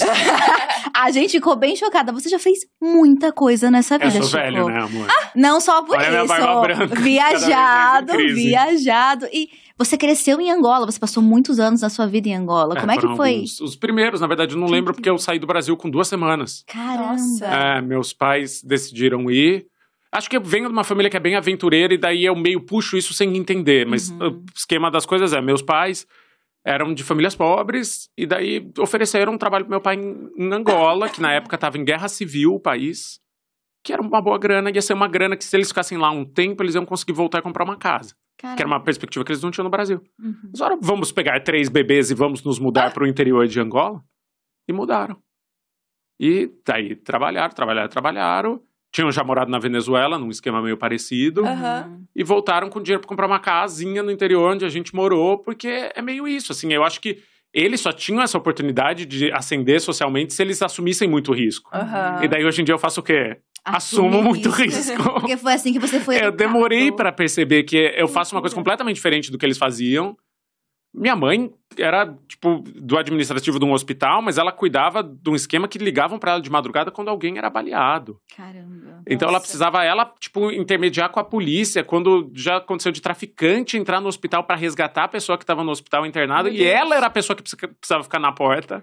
É tipo assim, história tentar... de Grey's Anatomy. É, Desculpa reduzir a isso. Eu mas... vejo, não, eu vejo Grey's Anatomy e falo, ah, pensei nisso. E eu achava que era normal, assim, eu achava que a mãe de todo mundo recebia ligação às três hum. da manhã, falando, entrou uma pessoa baleada e a gente acha que o o, pessoal do tráfico vai vir aqui resgatar. Liga para os. Porque daí tinha uns investigadores que acho que tinham uma relação próxima, que talvez não fosse nem muito legal com o hospital, que talvez uhum. eles recebessem um por fora, uhum. para cuidar disso. E minha mãe, tipo, saía de casa às três da manhã para com os investigadores cuidar que uma pessoa baleada, não, que o traficante não entrasse no hospital. Você viveu com esse tipo de. Eu achava, não, eu achava ótimo, eu achava super normal. Daí Caramba. quando as pessoas falavam, ah, não, minha mãe não trabalha, ou ah, de fim de semana, minha... eu assim, como assim? Não trabalha, não toca o telefone? Sua mãe não fica de plantão 24 horas Sua mãe não dia. lida com crimes Era e balas? Pra, pra, não, umas histórias tenebrosas, assim, de gente que deixa bebê no, no banheiro. Nossa. Uma vez ligaram para ela e falaram, oi, encontramos um bebê numa cabine Meu do Deus. banheiro. Que loucura. E daí ela precisava resolver. Porque Agora, é isso, né? Não é médico que resolve Tudo essas coisas sentido. em hospital. Precisa ter alguém que administre questões. Uhum. E ela administrava problemas. questões. Tua mãe ah. resolvia problemas irresolvíveis. Pepinos a granel. Ah, maravilhoso isso. É. Isso, inclusive, explica muito o fato de você ser extremamente ousado e já ter trabalhado com um pouco de tudo na sua vida, inclusive com a Naomi. Sim. um dos meus primeiros trabalhos. Muito Conta pra gente como carinho. é que foi isso. Como é que isso aconteceu? Gente, Cara, a Naomi Campbell mesmo, tá? É, exato. Não é a drag que imita a Naomi Campbell, é a própria. Cara, eu vim pra São Paulo com 17 anos para estudar, fazer faculdade. Detestei a faculdade, não era para mim. Uhum eu queria muito trabalhar. Daí eu fiquei sabendo que uma menina veterana trabalhava numa assessoria de moda bem grande. Não era já... faculdade de jornalismo. Era. Era faculdade de jornalismo. Você jornalismo. odiou jornalismo. Ah, era meio nada, né? Desculpa, uhum. PUC, eu vou voltar aí em breve, inclusive, para dar uma palestra, mas para mim não era para mim. Uhum. Daí eu virar, ela chamava Lara. Falei, Lara, você trabalha na tal assessoria lá que, que tem o Redcovid e tal? Ela falou, trabalho. Eu falei, cara, eu quero muito trabalhar lá. E fui e me apresentei, sempre na caruda. Uns meses depois eles me contrataram para um estágio e um dos clientes deles era Naomi Campbell. E dela vinha pro Brasil fazer semana de moda e precisava de alguém para ficar cuidando dela, de babá. E ninguém queria. Eu falei, vocês estão malucos? Eu faço isso com o maior prazer. Claro, depois de ver a mãe saindo às três da manhã é É isso, porque eu achava normal ir, ir no, no, Hotel Unique lá às três da manhã levar coisa pra ela, ver gente jogando coisa em gente, ah, você, grito. Você presenciou. Nunca jogaram nada em mim, isso eu posso ah. dizer no tribunal. Assim, nunca jogaram um café quente na minha cara, mas ela foi condenada ela por foi? jogar. Não, a gente tá rindo, não né? Tô dizendo, é, é, Rolou, não tô dizendo, não tô dizendo nada que a justiça já não tenha e você presenciou isso mesmo? Aham, várias temporadas. Eu cuidava. E eu amava. Daí quando eu entendi, porra, eu gosto de um perrengue. Ah. E as outras pessoas tinham pavor desse trabalho. E eu falava, uhum. cara, eu faço feliz. e eu fazia feliz. Caramba. Monetizando a treta.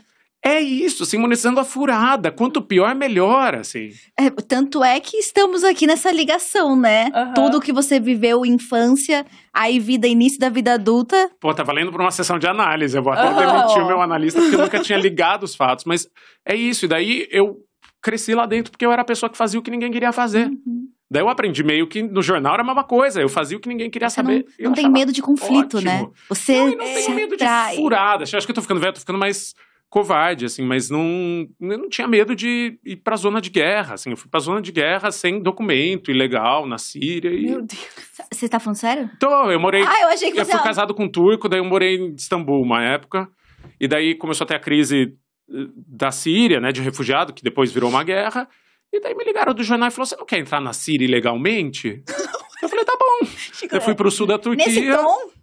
E é o tipo de coisa que a gente só pode falar pro Chico, né? Porque se o ah. Chico toparia, você quer entrar ilegal numa guerra? Não, Sim, eu tenho não. Meu, um dos meus melhores amigos estava no, no Egito na Primavera Árabe e ele me ligou feliz. Cara, um cara do meu lado tomou um tiro de raspão na orelha.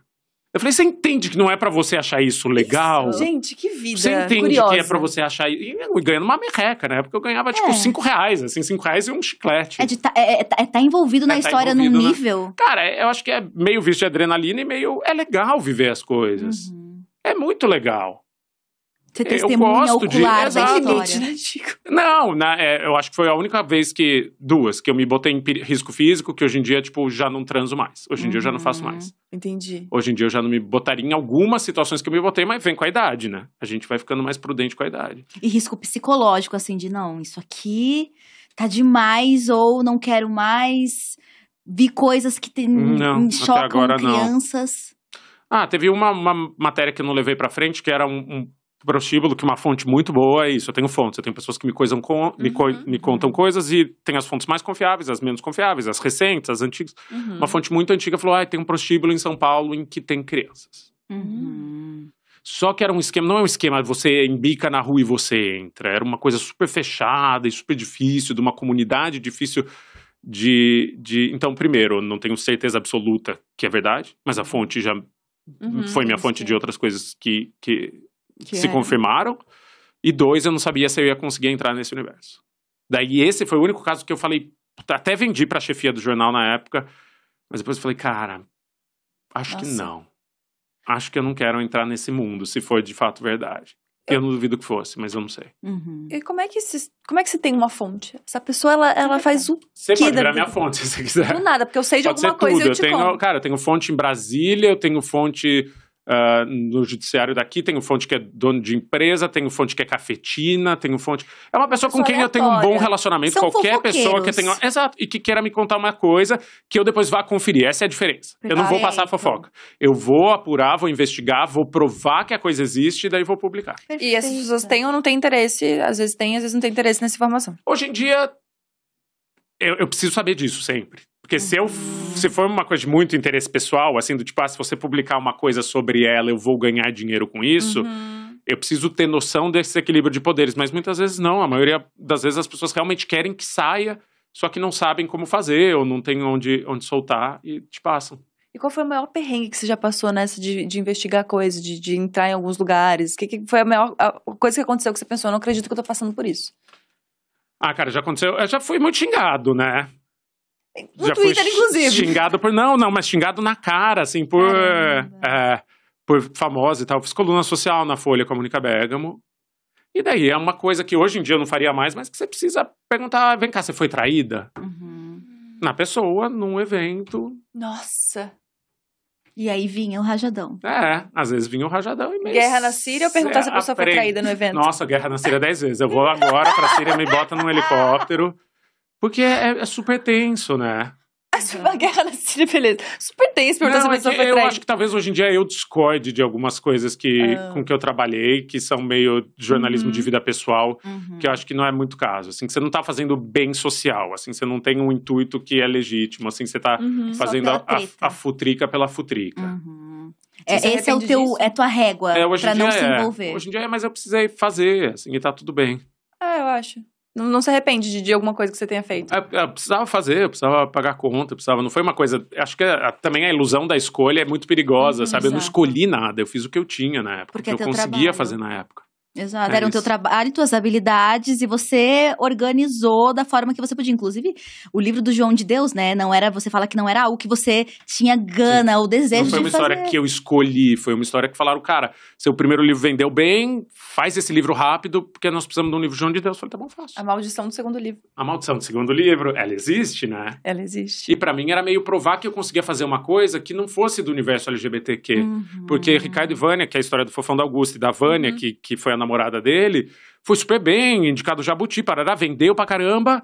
Só que daí um amigo meu que é muito famoso e queria meu bem, escritor, falou: não escreve mais sobre gay.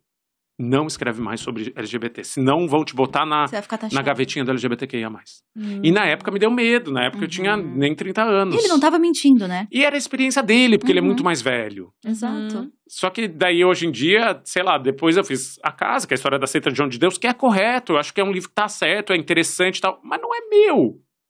Daí depois eu fiz Elk, que é 100% meu, uhum. e Rainhas da Noite, que é a história das travestis mafiosas que reinaram no centro, que é 100, 200% meu. E hoje em dia é meio foda-se se uhum. vão achar que eu só escrevo sobre LGBTQIA+. Uhum. E você consegue hoje em dia, hoje talvez essa seja uma escolha né? É. Você tem a liberdade, talvez porque no começo você teve que se direcionar e fazer o que tinha que ser feito. Sim. Hoje você pode fazer o que te apetece. É, mas ao mesmo tempo ninguém nunca me obrigou. Assim, uhum. acho que uhum. eu seria injusto se, se eu desse uhum, entender. Ninguém, é, era, eu me pressionava, eu me obrigava. Por isso, assim, por medo, por, pela maldição do segundo livro. Uhum. Porque diz isso, né? Se você lança um primeiro livro e ele vai bem, 99% das pessoas lançam um segundo livro que é ruim e não vende e acaba a sua carreira. Daí eu falei, ah, A maldição do segundo livro, desespero. Vocês querem então que eu escreva sobre o João de Deus? Vou escrever sobre o João. E escrevi. E tá lá. Mas é engraçado como as coisas funcionam, né? Porque até esse livro foi o que inspirou pro ateliê acontecer. Ela falou. Do... É. Ela tava lendo esse é, livro quando ela me procura. Então Exato. é meio. Então, Deus, virou Deus uma escreve coisa certo por linhas tortas. Assim. Exato. Assim. Virou uma coisa sua no final das contas. Virou, assim, né? virou. Porque eu nunca pensei. Eu não era de crime, né? Uhum. Até a, a história do João de Deus eu não era de crime. Eu não investigava crime. Eu e fazia ter sido muito pesado, né? perfil. Né? Cara, foi muito reconfortante porque tinha uma união muito grande. As vítimas do caso João de Deus se uniram muitas e, ah, muito, e elas formaram uma família e elas se apoiavam muito ao contrário da, das vítimas do ateliê que estavam sofrendo sozinhas. Então foi muito mais dolorido investigar o caso do ateliê do que o caso do João de Deus, porque aquelas pessoas se falavam, aquelas pessoas se encontravam, aquelas pessoas podiam ventilar e podiam hum. uma contar com o apoio da outra. No caso do ateliê, eram eu encontrava gente que nunca tinha falado com ninguém sobre aquilo. Que interessante isso, porque a gente pode pensar nisso uh, relacionado à culpa, né? Acho que o pessoal do João de Deus tinha essa sensação de fomos vítimas. Uhum. E o pessoal do ateliê parece que eles procuraram e por tinha isso. Tinha um reconhecimento assim. público já. É, exato. De que aquelas pessoas e tinha um entendimento público de que aquelas pessoas foram manipuladas de uma maneira cruel. Uhum. Que uma pessoa que ele literalmente falou: se você fizer isso aqui comigo, eu curo seu pai de um câncer no cérebro. É. Aham.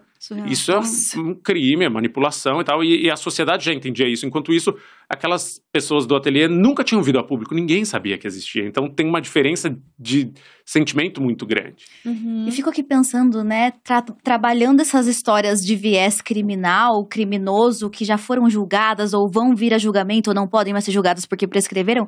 Como é que contar essas histórias e construir isso em tempo real pode ou não afetar o desenrolar dos fatos juridicamente, uhum. né? No ateliê você tem, sempre escuta que você tem um consultor jurídico, não um consultor assessor jurídico. Tem dois. E como você descobriu, cometeu algum erro no começo? Uhum. Como é que acontece essa relação? Cara, eu acho que, antes de tudo, a gente não prevê o que vai acontecer, né? Ninguém uhum. tem, tem bola de cristal, então a gente não sabe como o que a gente vai reportar, como a história que a gente vai contar, vai mudar os fatos. Então, acho que é relevante contar esse fato ou não, tem que ser o único crivo para eu contar ou não uma história. Uhum. Porque eu não posso pensar, ah, se eu contar isso, a justiça vai pender para um lado. Não é previsível isso. Uhum. Eu vou reportar o que eu encontrar da realidade. Se eu estivesse investigando essa história e eu encontrasse indícios e provas de que nunca aconteceram aqueles crimes, eu contaria a história dizendo que há mais indícios de que nunca aconteceram. Não foi o que aconteceu. Uhum. Eu encontrei indícios, fotos, vídeos, relatos. A, a, as pró o próprio acusado não nega que tenha feito é. as coisas. Eu nunca peguei um caso tão redondo. Então, mas daí já não, não é comigo por exemplo, pensar se eu atravanquei ou não o trabalho da polícia. Muita gente falou, não, mas a polícia não tinha nem entrado ainda e, e feito, cumprido os mandatos de busca e apreensão. Eu esperei quatro meses para publicar a série. Se a polícia não agiu, a, a, demora da polícia também passa a ser um elemento dessa série. Perfeito. Porque a partir do momento que o podcast estreia, na mesma semana a polícia entra no ateliê e apreende todos os HDs e todas as fotos que tinham lá dentro. Não, e ficou muito claro que ela te procurou como uma, uma segunda coisa que ela estava fazendo, né? Existia o eu vou. É, enfim, Por denunciar. Mas eu também quero falar sobre isso e quero que as pessoas saibam disso, assim. É, para mim, pelo menos pareceu que eram duas coisas completamente diferentes e que as coisas não. É. Que ia rolar. Que ela, ela, não é. queria a foto dela no jornal, né? Eu fiquei, por que não? Eu falei, ah, sim, porque a história é pequena, nas colunas, você não tem tempo para mostrar a complexidade dessas relações, que só um espaço de várias histórias de 40, 50 uhum. minutos poderiam. Ah. Não, e também imagina atrelar o nome de uma pessoa para sempre a isso, assim, você passar a ser é. definido por um um período da sua vida que era obscuro em que você foi uma vítima, uhum. sabe? O resto da vida. Foi muito Eu acho que existe, é, existe uma coragem tremenda, ela é corajosíssima, mas acho que ao mesmo tempo tem uma coisa muito de astuta, que é entender que algumas coisas só funcionam no Brasil com pressão pública. Uhum. E aqui eu falo de fora do mundo ideal da, da temperatura e pressão das pessoas que dizem, mas a justiça, pressionar a justiça, pressionar a polícia. Cara, vocês vivem no Brasil? Eu pergunto é. para as pessoas que falam isso, assim, que são tipo acadêmicos do direito. Vocês vivem? Em que país vocês vivem? Eu vivo no país que saiu hoje a notícia de que uma criança foi morta depois que o pai te tentou denunciar 10 vezes para o juizado de menores que essa criança estava sendo abusada e nada foi feito. Nossa. Porque esse pai é gay e porque o juizado de menor do estado dele é feito por maioria religiosa.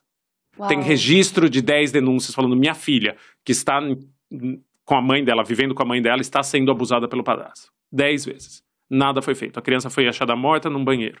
Meu Deus, Meu que desespero. É, é isso. Então, porque para quem é, é meio idealista e fala, ah, precisamos deixar a isonomia da justiça e as instituições funcionarem, desculpa. Por vias legais. É, e... Não, e o jornalismo também é uma instituição, a mídia também é uma instituição. Eu tô só fazendo o meu rolê e num país em que as instituições não tendem a funcionar muito bem. Exatamente. É, e às vezes a pressão pública, né? é, às vezes a pressão pública é o empurrãozinho que precisa para as instituições uhum, trabalhar.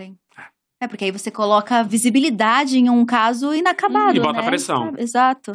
E acho que isso é uma coisa interessante também, porque é esse entendimento de que com a Margarida nada poderia ser feito, mas você denunciou, falou de outras pessoas que passaram pela mesma situação, outras mulheres também que foram escravizadas, e aí de repente você entende que ah, tá, isso aqui a gente não vai resolver, mas o problema ainda existe Sim. hoje. Então, o problema que existe hoje, a gente tá. consegue de alguma maneira fazer alguma coisa. Acho que a ideia da série era meio essa, era meio passar uma rasteira e dizer, pô, olha como ela é exótica, olha que figura estranha, olha que peculiar, olha que história única. Daí no meio da série, no quinto episódio, tinha um. Então, hoje a gente não vai falar dela. Uhum. Hoje a gente vai viajar o Brasil mostrando outros tantos casos que aconteceram ontem, não há 20 uhum. anos. Nossa, e daí, sim. por isso, talvez tenha aumentado muito o número de denúncias. Assim, depois que o podcast foi pro ar, mais que triplicou o número de denúncias de suspeita de trabalho análogo à escravidão doméstica. E vocês então, davam esse serviço, inclusive, né? Davam, Se você... e funcionou. O sistema ah. IP tipo, foi sobrecarregado. No caso do ateliê, uh, a gente falava de uma ONG que ajuda mulheres a denunciar, dando auxílio psicológico e auxílio também caiu. Elas não tinham mais, o site não comportou, não tinha mais gente suficiente, elas precisaram de mais voluntários. A gente começou a falar que você podia ser voluntária uhum. se você fosse psicólogo ou advogada. Também deu um salto no número de psicólogas e advogadas.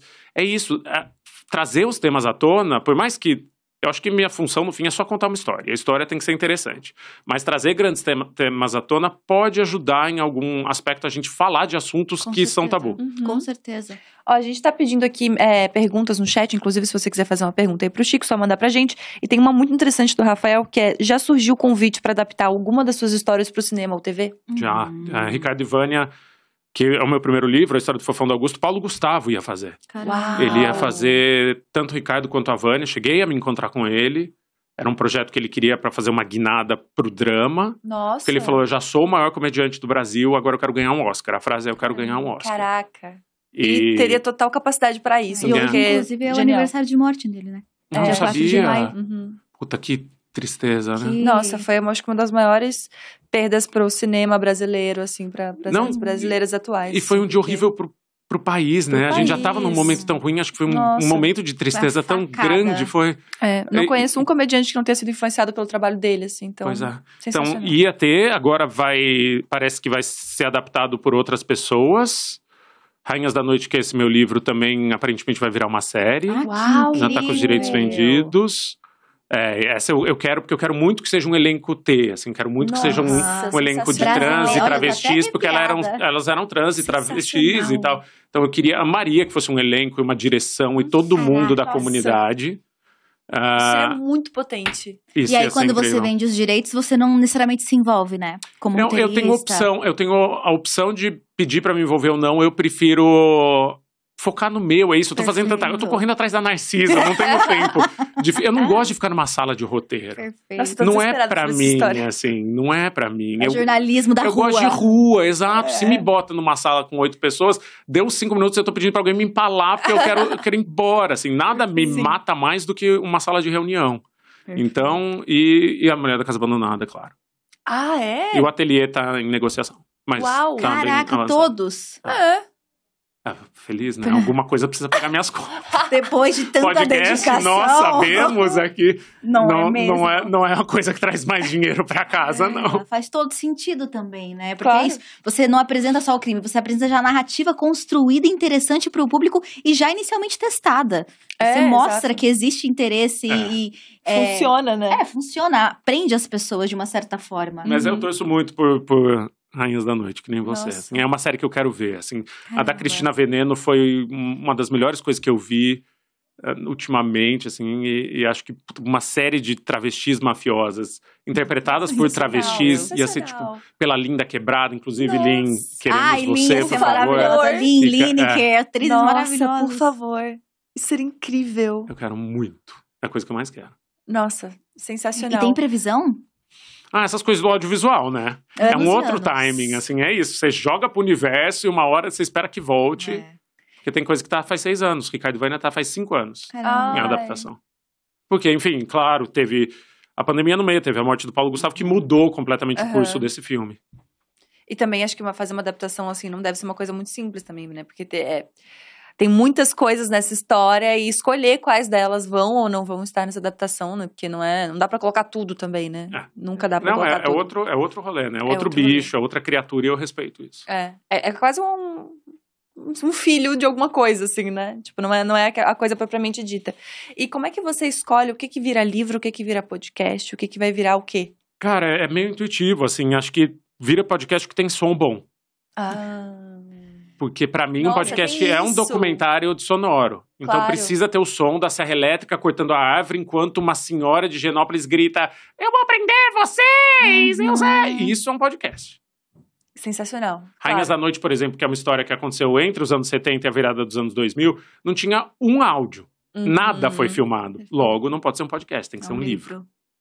Entendi. As coisas se encaixam e elas encontram o próprio caminho. Da própria investigação. É. Porque o podcast narrativo, o documentário em áudio, eu preciso presenciar e gravar as coisas. Uhum. Se eu não posso presenciar e gravar, não vai ter cena, não vai ser um universo. Vai ser alguém contando uma história. Alguém ah. contando uma história, para mim, é texto.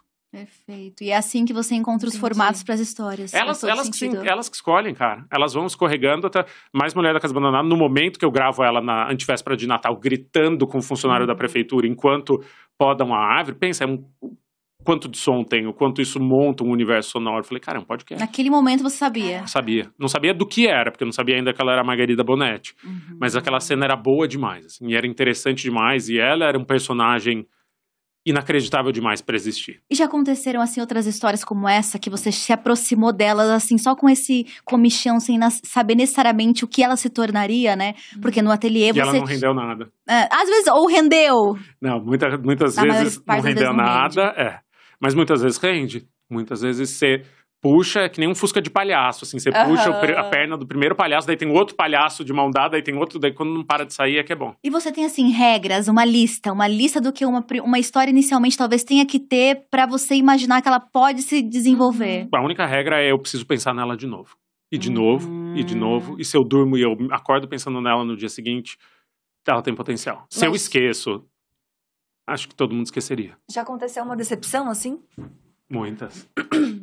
Muitas. Investiguei durante dois meses e. Ah, isso aqui não vai dar não em nada. Não nada. Investiguei durante dois meses, era mentira. Você pode contar Ai, um caso? Isso, por posso, favor. Posso, posso. Tem, tem um caso recente, recente digo dois anos, assim, uhum. antes da mulher da casa abandonada e tudo mais, de uma pessoa que dizia que tinha sido abusada por um grande nome numa universidade. Uhum. Não se confirmava, não se confirmava, mas tudo bem, as histórias são difíceis, ainda mais história de abuso. Uhum quando é só a versão, quando não tem, tipo, o ateliê tem filmagem, tem, é Sim, raro ter, pessoas. ter prova documental. Esse caso não tinha prova documental. E daí a pessoa mudava de versão, e daí as pessoas próximas a essa denunciante começavam a questionar, até que a mãe dela me puxou e falou: essa é uma pessoa que mente, ela mente bastante desde a infância. A tá? mãe falou. E eu acredito que ela embarque nas coisas. Eu acho que ela acredita no que ela tá falando. Mas você não precisa acreditar. Cara. E já era um momento que eu tava com a orelha em pé, porque nada batia. Então foram uns dois, três meses ali de tentativa e erro, até que não tô desqualificando a possibilidade, assim, mas uhum. eu não com todo o meu ferramental, não senti confortável de publicar aquela, aquela reportagem porque não tinha prova suficiente. Depois de ter colocado Nossa. tempo, energia. E pelo contrário, tinha mais prova de que não tinha havido e mais prova de contradição no discurso dessa pessoa do que de propriamente. É. Daí Nossa. vai pro lixo. É, o curioso é que você não pode cesto. fazer nada com isso. Né? Absolutamente nada. No máximo, pode virar um podcast muito doido sobre uma pessoa que denuncia não existe e daí vira uma outra história. Às vezes a história vira o que ela não esperava, né? É. Mas também, isso também pode, enfim, ir, ir pro outro lado de que, ah, então quer dizer que pessoas mentem sobre abuso, então essa pessoa pode estar mentindo. É, e aí pode ir para um lugar Exatamente. que, nossa... Não Nós tem estamos sentido, né? presenciando né? uma guerra narrativa atualmente no Brasil que eu acho que perdemos foco, assim. De um caso específico, vocês sabem qual é, que é do, do Márcio Smelling, que eu acho que ah. a gente ah. perdeu o foco. A gente perdeu completamente o foco. Tem uma parte da imprensa que quer defendê-lo e quer uhum. atacar. Puta, eu, é esse meu medo, assim, é fazer alguma coisa que vá contra, dos, contra os meus valores. Uhum. Meus valores é que são que a, as pessoas possam ter segurança uhum. e credibilidade para denunciar quando elas são vítimas de qualquer crime. Uhum. E essas pessoas façam parte de qualquer parte da sociedade.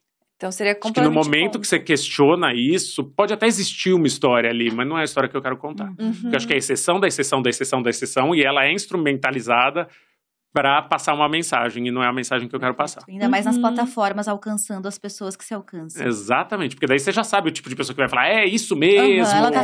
um grande conluio, manipuladoras. Não, não é essa a minha galera. Quais são é. as pessoas que vão concordar com essa história? Uhum, né? E que já estão é... prontas, que querem concordar com essa Exato, história. Porque a visão de mundo delas já está formada. Pronto. Uhum.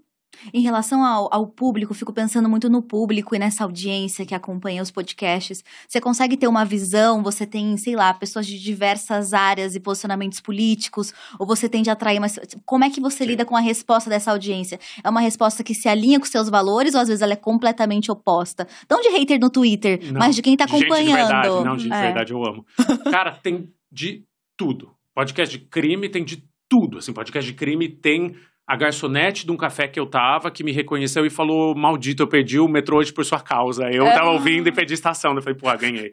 Uh, podcast de crime tem Minha avó nunca tinha ouvido e ouviu. Uma vez eu tava nadando e as senhoras da hidroginástica que estavam na raia do lado estavam falando da mulher da casa Caraca! Uau! Então tem de fato de tudo.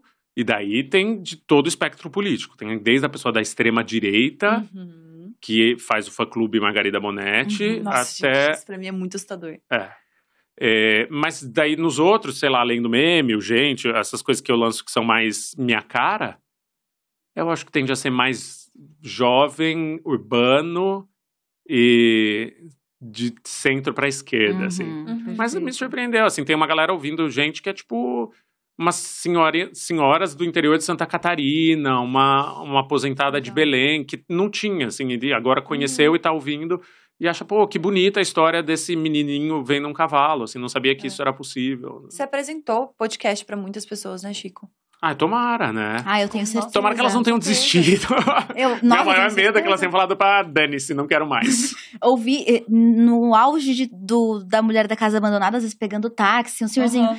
Não, estão falando aqui, a gente ir por Higienópolis, né? Estão falando que tem a casa de uma mulher é. doida. Uhum. Eu falei, tem. Ela, mas como é que eu vou saber dessa história? Aí eu peguei o celular dele.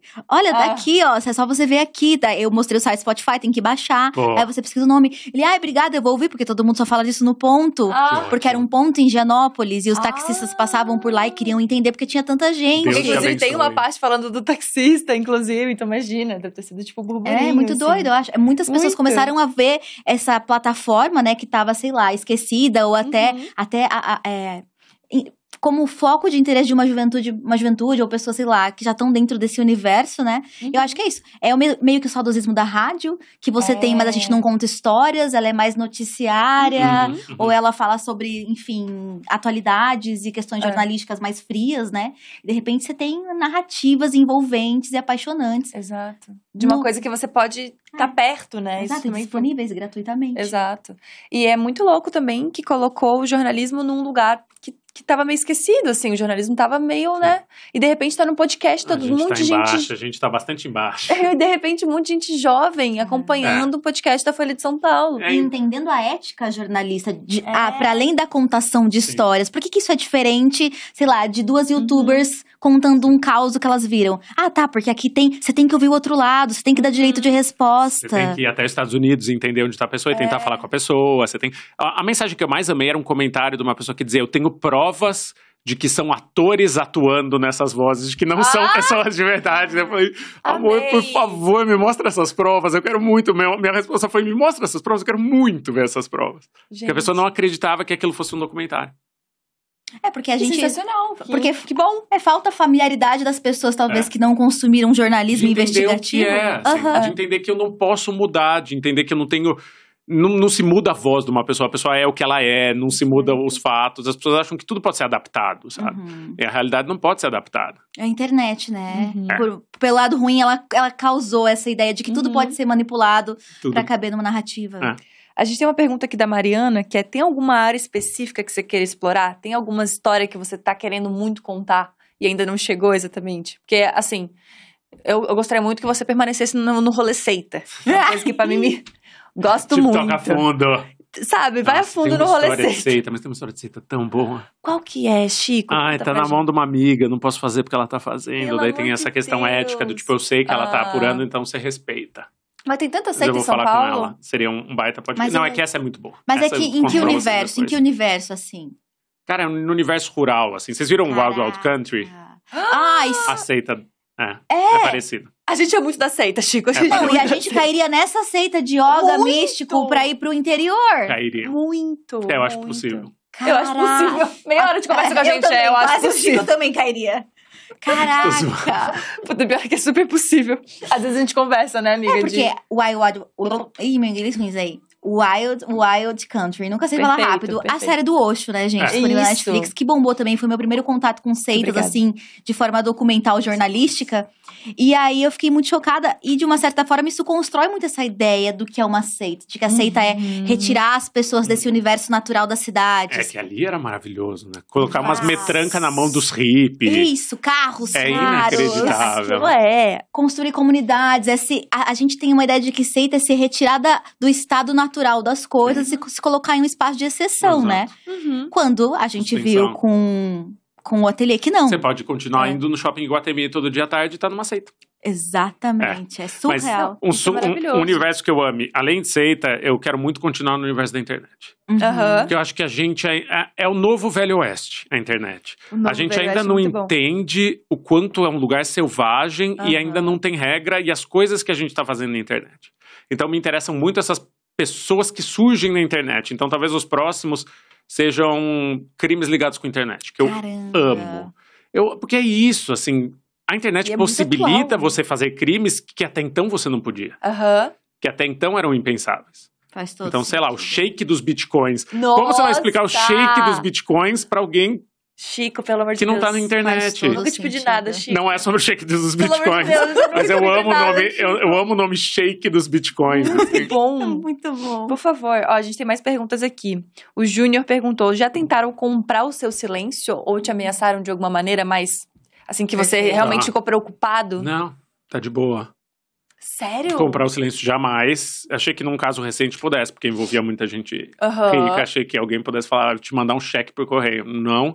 Mas tentaram comprar minha palavra, que é o contrário de comprar meu silêncio. Hum. Que é eu te dou X se você investigar tal coisa. Uhum. E daí fica assim, Uau. calma.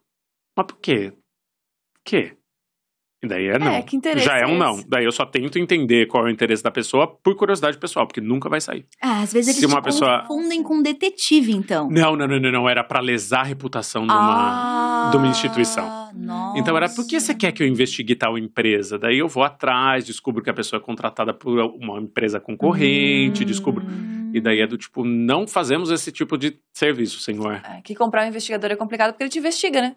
É, não, se ainda fosse. Se, se a pessoa quisesse um dossiê uhum. que não fosse ser publicado e perguntasse, quero saber o que essa pessoa fez da vida. Sei lá, nunca fiz isso, mas não é, é meio parecido com o que eu faço, um, uhum. uma investigação é. pessoal. E não seria crime. Mas não era o caso. O caso era investigue, publique. Uhum. É, porque mesmo que fosse real e você encontrasse absurdos nessa empresa, aí você tá, sei lá, numa não, é, espionagem errado. corporativa. É, não, começou errado. Assim, é? começou errado e eu não tô ali. Eu não me sentiria confortável, porque eu não teria confiança de que, que interesse eu tava Perfeito. atendendo. Perfeito, faz todo sentido. O André perguntou: vai ter nova temporada do Além do Meme? Não vai, porque o Além do Meme é, é do Spotify, né? Hum. E eu atualmente sou independente, que eu amo, tem lá duas temporadas do Além do Meme. Mas o gente tem umas coisas que são parecidas, uhum. às vezes, com, mas não, no mais é mais gente comum mesmo, vai ter só que em breve vem uma coisa meio parecida com a Lei do Medo. Fala um pouquinho, que tu tá soltando os spoilers, mas não tá soltando os spoilers. E a gente aqui ficando... também é pra apresentar Ué, os nossos falando, ó, crime da internet hum. parecido com a Lei do Meme junta, faz uma parede, faz uma parede com vários fios, assim, várias é, fotos. Tipo, eu tô assim, Chico. A parede da, da, da investigação. Assinante vai saber antes? Não, pior que não, esse eu fui contratado pela Amazon, né? Ah, que legal. Eu finalmente Ei. fui, é, assinei um contrato. Lembra aquelas fotos de gente assinando uh -huh. contrato com a Playboy? eu queria ter feito uma minha, fiz com a Wonder e, e sai em breve, assim, é o que eu tô fazendo loucamente, tô viajando em silêncio, nunca posto no Instagram onde eu tô que é uma coisa muito maluca, porque eu sou super da rede social, né? Mas quando eu tô viajando a trabalho, eu não digo que eu tô viajando a trabalho. Até para as pessoas não prestarem atenção. Não prestarem atenção, tá. é. E de repente eu você já viajei um podcast essa de 30 semana, episódios. eu já hum. em silêncio, eu entro mudo e saio calado. Entro num avião mudo, faço o que eu tenho que fazer, volto, saio calado. E ninguém nunca vai e saber. Não, e as pessoas devem te reconhecer, provavelmente. Ninguém fica enfim. Ah, não, eu viajo bastante, eu trabalho. Amanhã eu vou dar uma palestra no Sebrae de BH, por exemplo. Legal. Aproveito e já faço umas entrevistas no interior de Minas. Em silêncio. Do fim de semana. Sem nem saberem que você tem fontes necessárias. É. Que incrível. Esse que é bom. Eu tenho trabalhos também que me fazem, me exigem que eu viaje, daí eu aproveito, tipo, ah, passo ali num prédio às três da manhã que Undercover. ninguém me vê, faço Meu uma Deus. entrevista, saio. a verdade é que é fácil fazer essas coisas, as pessoas se expõem muito na internet. Eu me incluo, eu me exponho muito na internet. Mas no meu ofício exige que eu exponha só o que eu posso expor. Perfeito. Tem coisa que eu jamais vou contar. Ah, e uma curiosidade agora, as pessoas te procuram para tipo oferecer auxílio. Chico, me contrata como seu Robin, a gente vai junto, sou seu correspondente aqui. Muita. Mas não tem jeito, ainda não é. Não tô no lugar. Adoraria estar no lugar que eu tivesse correspondentes no Brasil inteiro, assim, não tô nesse ponto. Abrir filiais investigativas. É, exato, mas não tô, não tô com esse cacife todo, não, mas uhum. adoraria. Muita, e eu acho massa, porque muita Legal. gente molecada, assim, e muita Legal. gente que mostra sangue nos olhos, que eu acho a maior qualidade que existe é, é a tenacidade, a pessoa que tem gana, a pessoa uhum. que quer. Acho que muito mais do que, ah, estudei em tal lugar, falo tantas línguas Dane-se, isso a gente corre atrás. Uhum. E isso também é produto do meio onde, você cresceu. Uhum. Isso não mostra que você é uma boa pessoa. Agora, se a pessoa já me manda uma coisa surreal que ela descobriu e, e correu atrás, daí vejo valor. Daí dane-se seu currículo. É sobre, Interessante. É sobre querer encontrar história. É, é isso, porque no final tendo responsabilidade de uma certa formação, sabendo escrever direitinho, isso a gente aprende rápido. Perfeito. De resto, eu, não, eu jamais contrataria alguém porque, ai, fiz tal faculdade.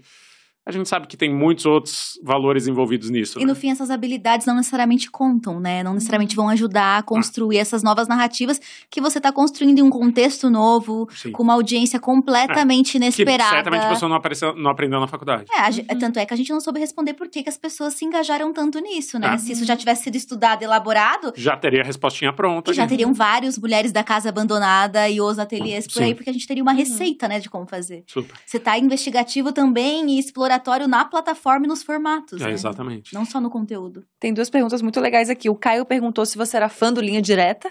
Uhum. Cara, não era, mas eu gostava muito de Gil Gomes. Eu gostava de Aqui Agora.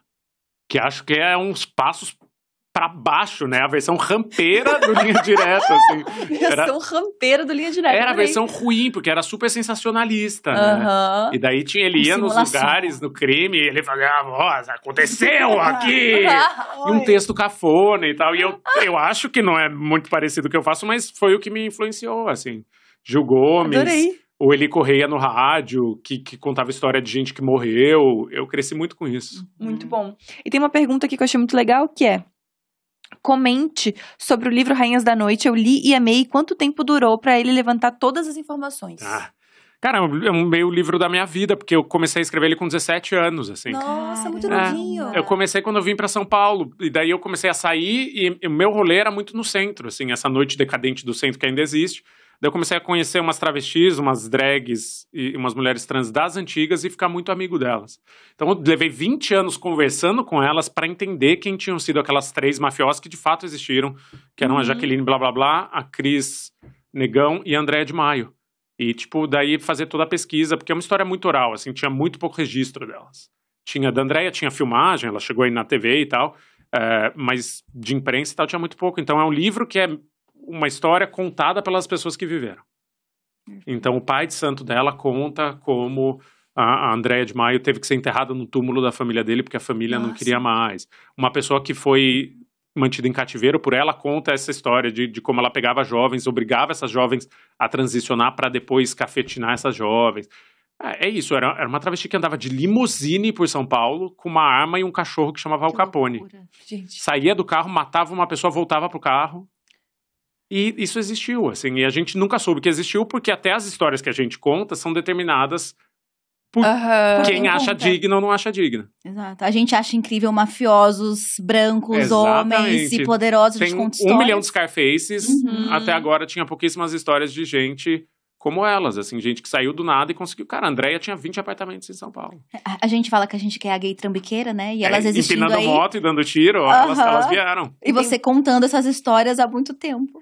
E tem mais uma pergunta sobre isso, que é hoje nos programas de drag as veteranas não são citadas. O que acha que motiva esse esquecimento das drags antigas? O Rafael Andrade, Andrade perguntou. Eu sou super otimista e eu acho que a galera só não conhece. Uhum. Se conhecesse, ia ver o quanto elas são incríveis e o quanto elas já fizeram umas coisas inacreditáveis muito antes da gente chegar, muito antes dessa galera chegar. Exato, muito uhum. antes da RuPaul, que eu venero mudou o mundo, uhum. mas a gente teve no Brasil Rogéria, a gente teve no Brasil Roberta Close, a gente teve no Brasil artistas transformistas, como elas se chamavam na época, que tipo, apareciam pro país inteiro e uhum. faziam coisas inacreditáveis.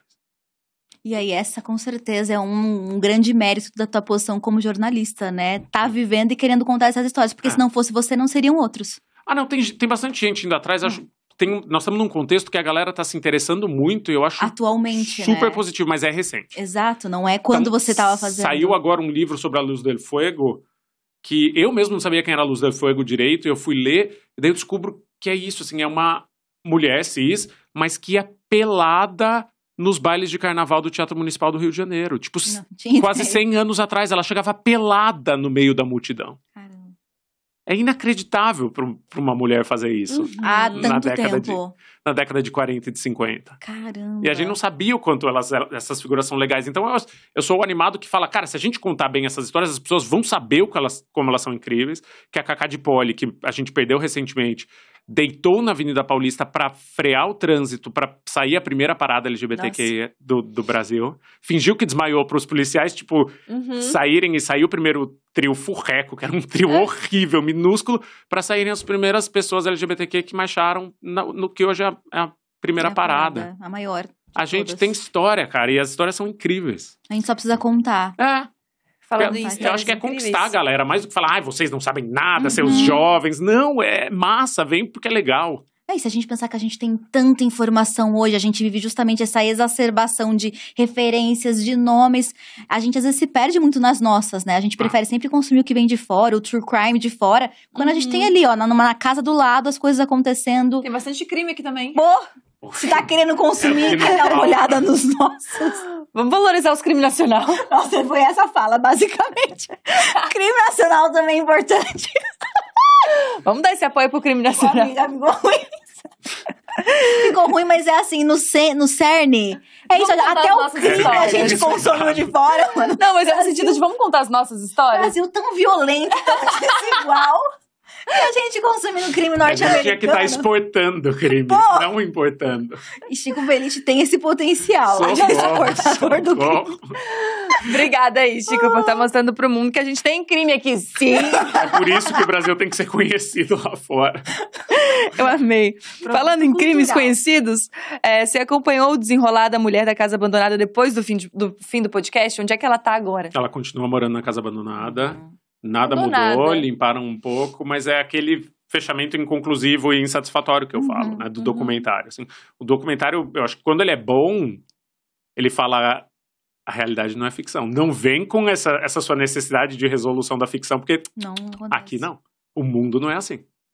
E daí te leva a pensar por que o mundo não é assim e o que poderíamos fazer para estar tá um pouco menos insatisfeitos com o mundo.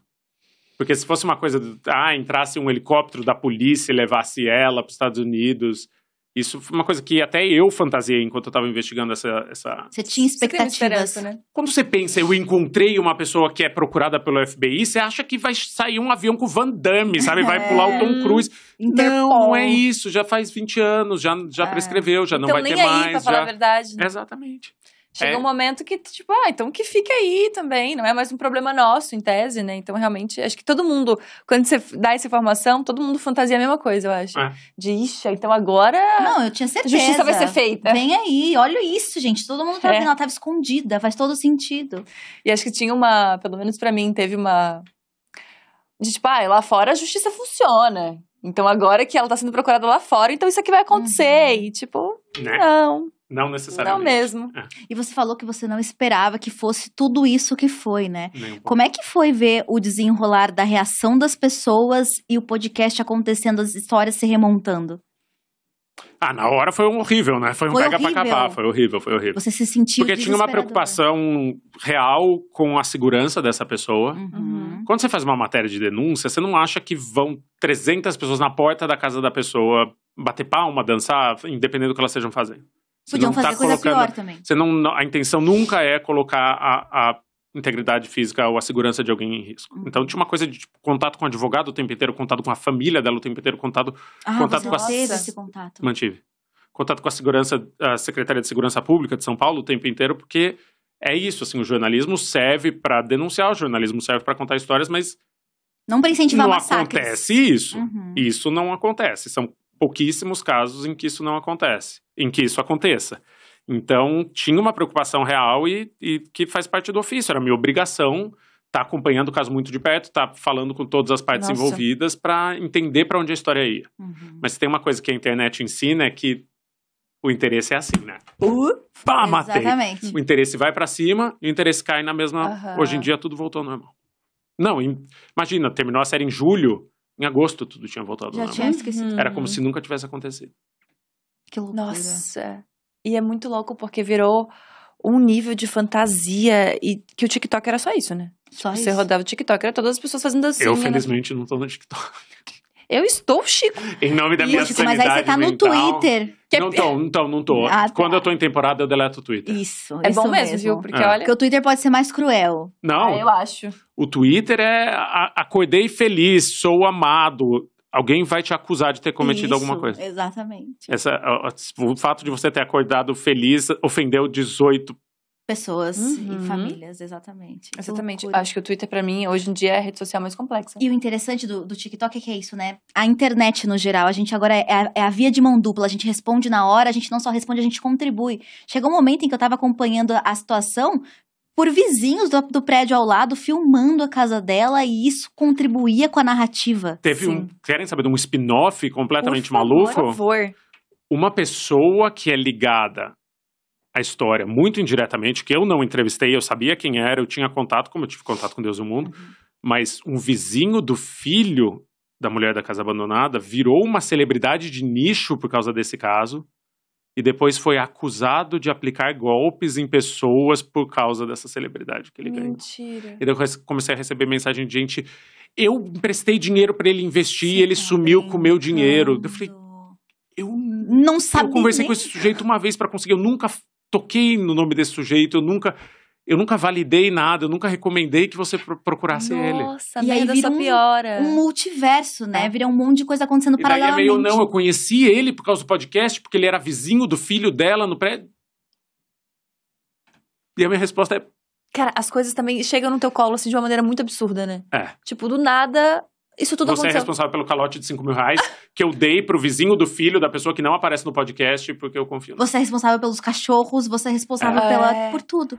Ah, tá tudo bem. Assim, acho que faz parte dos ossos do ofício, mas a galera talvez uma hora vai entender que eu só a história não é minha. Eu contei uma história que eu vi ali por seis meses. Nossa, e mas tem algo que você faria diferente? Tem instituições para isso. Acho Hoje, que sim. Vendo tudo acho que, que sim. Acho que era o caso de ter colocado um aviso que não tinha uh, de conteúdo sensível, uhum. uhum. aviso de violência, aviso de racismo que era uma coisa que a Folha nunca tinha feito, podcast nenhum tinha feito quando era estritamente documental. Uhum. E também não sabia a proporção que isso ia tomar, né? Eu acho, acho que, que, tudo é uma questão de escopo, assim, até então eu já tinha feito um monte de podcast, ia bem e tal, mas é diferente, assim, quando você chega em 4 milhões de pessoas, é diferente de chegar em 100 mil. Uhum. É muito diferente. milhões de pessoas. É, é muito diferente. Nossa, é... tomou uma proporção tão gigantesca que eu lembro que a enfim, né, pegando o carro pra, pra sair, eu moro ali perto também de Genópolis, e aí os carros tinham que fazer voltas, assim, porque, uhum. tipo, não dava pra passar na rua. Chegou um momento que não dava pra passar na rua. No dia que a polícia entrou e o Datena ficou mostrando ao vivo de helicóptero, Datena, foi pro Datena, eles fecharam tipo... a rua e ficou parecendo um jogo de futebol, porque tinha uma plateia, uhum. como se fosse uma arquibancada na frente, fechada com fita, a imprensa lá dentro estava trabalhando, a Luísa Mel dentro da casa. Os cachorros correndo. Os cachorros correndo. Foi o que você estava fazendo ali mais... aquele, aquele momento? Eu ia fazer um episódio extra, ia ter um sétimo episódio que nunca saiu, porque a coisa tomou um rebuliço tão grande que ele virou uma entrevista no Café da Manhã, o podcast da Folha, porque eu não queria mais encostar. Porque daí parou na internet, chegou na internet uma foto minha lá na frente e insinuações de que eu tava lá de oba-oba, de que eu tava lá tipo, capitalizando em cima. Amor, eu estou trabalhando num caso que eu estou trabalhando há um ano, que eu descobri. Uhum. E daí, a camisa dele tá aberta. Sim, eu ando de camisa aberta. Desculpa se você não gosta do jeito que eu me visto. Chico, a gente falou sobre isso. A gente. Ah, de um Chico Felite com filtro de glitter e camisa aberta. Porque o, o print no Twitter ah. era uma live com filtro, filtro de, glitter. de glitter. Que não era minha. E daí, num momento, a Luísa Mel chegou já numa live e se aproximou de mim. E eu não sabia o que estava acontecendo. Um e a melhor história de todas é que ela foi resgatar resgatar um gato e era o gato da luz, lembra? Não, daí ela fala para mim, assim, eu vim atrás porque eu tenho informação que tem um gato, daí eu faço assim, isso, eu porque eu tô chocado porque é uma ligação elétrica, é um gato elétrico. É um gato elétrico. Eu esqueci tem essa fase. Detalhe. E é o tipo de coisa que você não tem controle, eu não tinha controle ali, eu tava apenas trabalhando. E daí foi daí que eu meio desencanei de vez da, da internet do Twitter, porque as pessoas vão ter opiniões. Assim, se uma foto é. minha, se eu abrir mais dois botões, vai ser muito ofensivo se eu estiver aqui assim? Não. Ai, eu tô sem um botão, inclusive. Caiu um botão, exato, vai até umbigo. No dia tava até umbigo. Por isso, porque eu saí de casa correndo. A polícia me informou que eles vão fazer aquela operação e eu saí da minha casa correndo. E tudo bem se eu tivesse, não tivesse saído correndo também e tivesse com uma camisa fechada. Com dois é? botões abertos. Mas naquele é assim contexto, colocar a sua imagem daquele jeito, entender você assim, é. fazia sentido com o que as pessoas estavam sentindo e a gente é. distorceu. Cara, porque a gente sei. viu, a gente. Gente, o que, que, é isso? É festa? É. A Luísa Mel é gata, é cachorro. Exato. A live dela correndo atrás dos animais no meio. É. Teve um momento. Disputando o pincher com, com a Margarida. Não, tudo, tudo era surreal, assim, tudo era absolutamente Chico, surreal. pelo amor de Deus, Como que rolou? observar isso sem pensar nos desdobramentos que isso que rolou depois? Ah, você não consegue pensar em nada ali quando, ah. quando a barata voa, porque é tudo tão surreal. É tudo tão. tão... Eu peguei o, o, diálogo de umas pessoas lá dentro gritando com a polícia que elas tinham direito de entrar porque elas eram TikTokers. Umas pessoas pularam o muro e falou: Mas você não é policial civil? Daí a pessoa respondeu: Mas eu sou TikToker. Ah! Sabe umas coisas que você Cara, acha que você nunca vai ver na errado. vida? Exato. Você nunca vai ver na vida. Daí eu falei, Cara, como eu tô se... presenciando o surreal. É como se não fosse a casa de alguém, né? É. Por mais que essa mulher seja odiosa e criminosa, sabe? É a propriedade privada e as pessoas estavam deliberadamente acessando, entrando. É. Que, que não, loucura. e três equipes da polícia, ninguém entendeu, porque as equipes da polícia não sabiam o que elas estavam fazendo lá. Nossa. Elas só foram. A informação era desencontrada. Foi um circo midiático é. marca, com hora marcada para acontecer. Caraca. E o mais louco disso tudo é que a grande revolta, acredito eu, pelo menos, a nossa, inclusive, é que se perdeu em determinado momento o rolê uhum. de isso foi um crime de racismo. O fio da meada, é, a discussão. Porque é isso, essa, essa, é a minha questão da internet, é a falta de foco, assim. Uhum. Como, de repente, a discussão é se devia ter tirado ou não devia ter tirado o cachorro. Exato. É, exato. É a capivara agora, né, gente? É a, é a capivara, é isso, assim.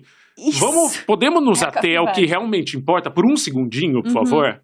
Por uma semana que seja, é. vamos nos até o que importa, assim, vamos analisar como é a legislação trabalhista brasileira para funcionária doméstica uhum. Uhum. e vamos ver se ela está sendo cumprida. É. Exato. Daí vira tipo, não, o cachorro tá com câncer, o cachorro não tá com câncer, a capivara tem que ficar. A capivara usa é. Protex, não usa Protex, foi Neutrox, mas pode passar Neutrox na capivara? É isso. É, não pode vacinar, é não pode vacinar a capivara. Aí virou um rolê de tipo, aí virou essa discussão de, mas não podia entrar porque era uma, uma propriedade privada, por mais que eu fosse uma escrota, ainda é a casa dela. Ah, não, mas ela tem que se ferrar mesmo. É. Não, mas é uma senhora. E aí, ah, tipo assim, gente, vocês perderam.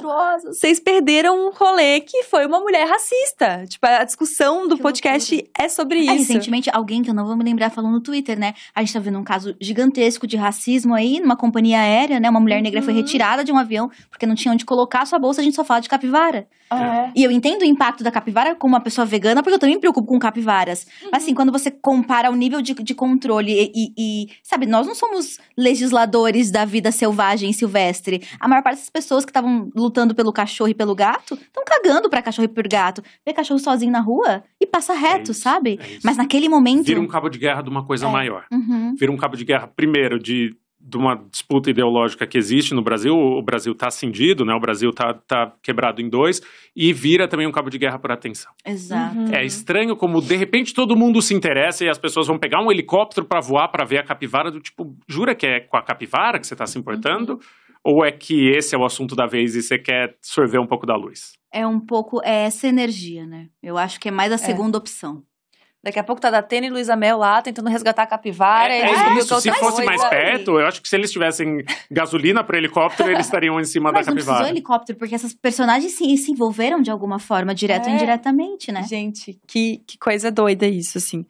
Bom, Chico, a gente quer fazer uma coisa mais leve agora pra gente finalizar. Já que a gente comentou tantas coisas pesadas, tem um teste que eu fazia muito de personalidade. A gente deu uma parada na segunda temporada, mas eu senti muita falta de fazer esse teste, Oba. porque ele é todo de... mundo já sabia. É uma coisa meio toda teen, sabe uma coisa meio toda teen? Amo. A gente gosta. capricho. Isso, um teste de capricho. É isso mesmo que a gente vai fazer. Roubava os caprichos da minha irmã. São três perguntas. A primeira delas é: qual é a sua cor favorita?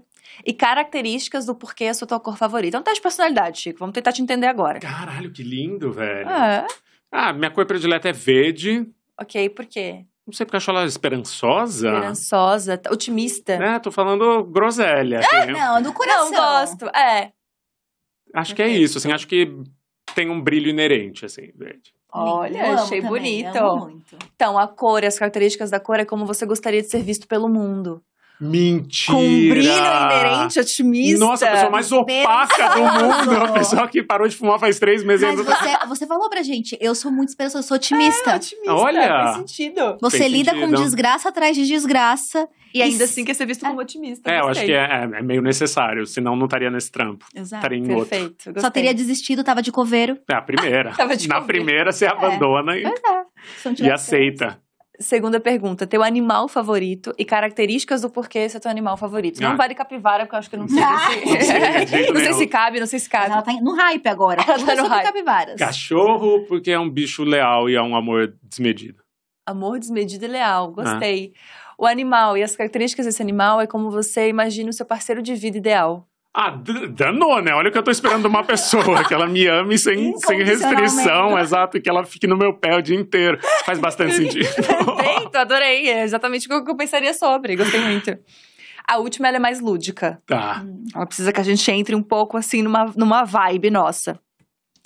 escolhe uma forma da água, que pode ser, sei lá, vapor ou enfim, ou pode ser também chuva, poça, mar, qualquer uhum. coisa. E por que que você gosta do mar desse jeito? Do mar desse jeito, da água e desse jeito? Se, e agora você vazou no teste. Cachoeira, teste. porque ela é gelada e ela tá em movimento. E ela é muito difícil de entrar, mas depois que você entra, vale a pena. Hum. Cara, essa resposta foi apenas sensacional.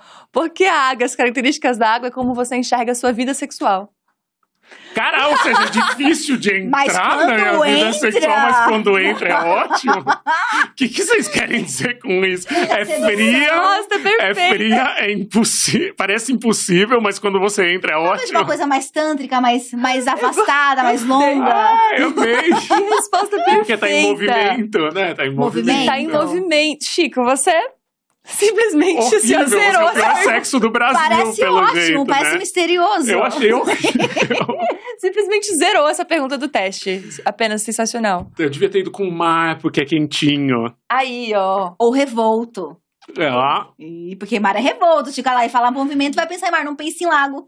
Hum. Oh. Tá vendo? Só Analisadíssimo. Qual foi tua resposta quando eu te perguntei ah, isso? Ah, nem lembro, amiga. Nossa, não lembro Não querendo mesmo. se expor, né, Nathalie Neri? E não lembro, gente. Deixa pra lá. Eu, hein? Essas perguntas expõem a gente de uma forma que a gente ah, não tá preparada. eu também tinha falado cachoeira quando eu fiz esse teste com um amigo meu. E eu falei que eu gostava de cachoeira porque era de difícil acesso. Ou seja. Ou seja, Chico. Não preciso falar mais nada, né? Não preciso falar mais nada. Enfim, acho que isso foi muito Acho que isso foi a melhor resposta que a gente teve até agora. Agradeço por isso, inclusive. Uhul! Ganhei alguma coisa, o Ariano. Ganhou! Chico, muito obrigada. Gente, foi um adorei. prazer. Todo meu. Adorei ter estreado a terceira temporada. Ai, Parabéns. Também. Parabéns pela estreia do canal. Também ah. eu tava assistindo aqui embaixo Ai, e assistirei mais. A gente tá muito feliz. Agora a programação 24 horas por dia, 7 dias por semana. Assim, as pessoas não vão aguentar mais ver a nossa cara, porque só a gente aqui, isso, ao vivo, de segunda falar, vocês vão ter que trabalhar em torno de ah, é. A gente tá. A gente Sete vezes um mais do que vocês aqui. trabalhavam, exatamente. Isso, essa energia pra garantir o entretenimento é. Nossa, matutino. Mais chique, muito bem-vindo. A gente tá muito empolgada com tudo, assim. Não, e realmente... a gente tá. Eu tô aqui ansiosíssima por, por trás do meme criminal. Porque é essa energia que eu tô esperando. Por trás do meme criminal. Criminal digital. Vai vir, vai vir. Exato. Vem aí. É bem em breve, é esse ano ainda. Ai, ai, eu tô ai. só pelo rolê da Narcisa. Não sei o que, que vai pelo... ser. Não é esse é 2024, não, não é 2020, Chico, não é. faz isso comigo. Ah, cara, é isso. Eu não posso contar as coisas, senão é isso. Senão a internet quer agora agora. Que agora, gente. Você não a pode internet fazer quer isso. e quer agora na minha mesa. Nossa, isso pra mim ia ser muito difícil de trabalhar com o que tu trabalha, porque eu, eu gosto das coisas pra ontem. Não, eu Se mas... ficar um ano num rolê. Nossa, eu consigo ficar dois. Ai, e a lógica de obrigar a esperar uma semana seguinte pra um outro episódio educa a audiência, vai. Educa nada, só desperta o ódio. só desperta o ódio. Por isso que o pessoal paga pra ter os quatro antes. Eu sou assinante na base da raiva. Ah é isso. ninguém, ninguém me dá dinheiro. As pessoas me jogam dinheiro na cara, em moedas. Toma, assim, fala, toma. Dá mais um episódio. É isso. tipo, isso. Causa isso, quer que eu morra, mata a fofoqueira. Não, é fico desesperada. Não, ninguém pelo faz amor de Deus. prazer. É verdade. Faz na base da raiva. É, trabalho é isso, né, também. Resumidamente, obrigada de novo, Chico. Imagina, Foi maravilhoso, gente, sensacional. Obrigado mesmo. Nathalie, sempre perfeita, amiga. Estamos Muito obrigada juntas, por amiga. Obrigada por, por, me receber aqui. E agora veio pra, pra ficar. Sempre. agora veio pra ficar, a gente gosta Não sou sim. mais folguista, gente, não sou mais. Espero que vocês tenham gostado aí. Amanhã a gente tá de volta meio-dia. E quero que vocês lembrem que hoje tem a estreia do meu programa. Ah, verdade! O Toma que me tem às 19 horas. A gente vai receber Fábio, Fábio Lins, Hudson Victor e Xanda Dias. Vai ser incrível. Muito obrigada, gente. Beijo grande. Tchau. Até amanhã. Tchau.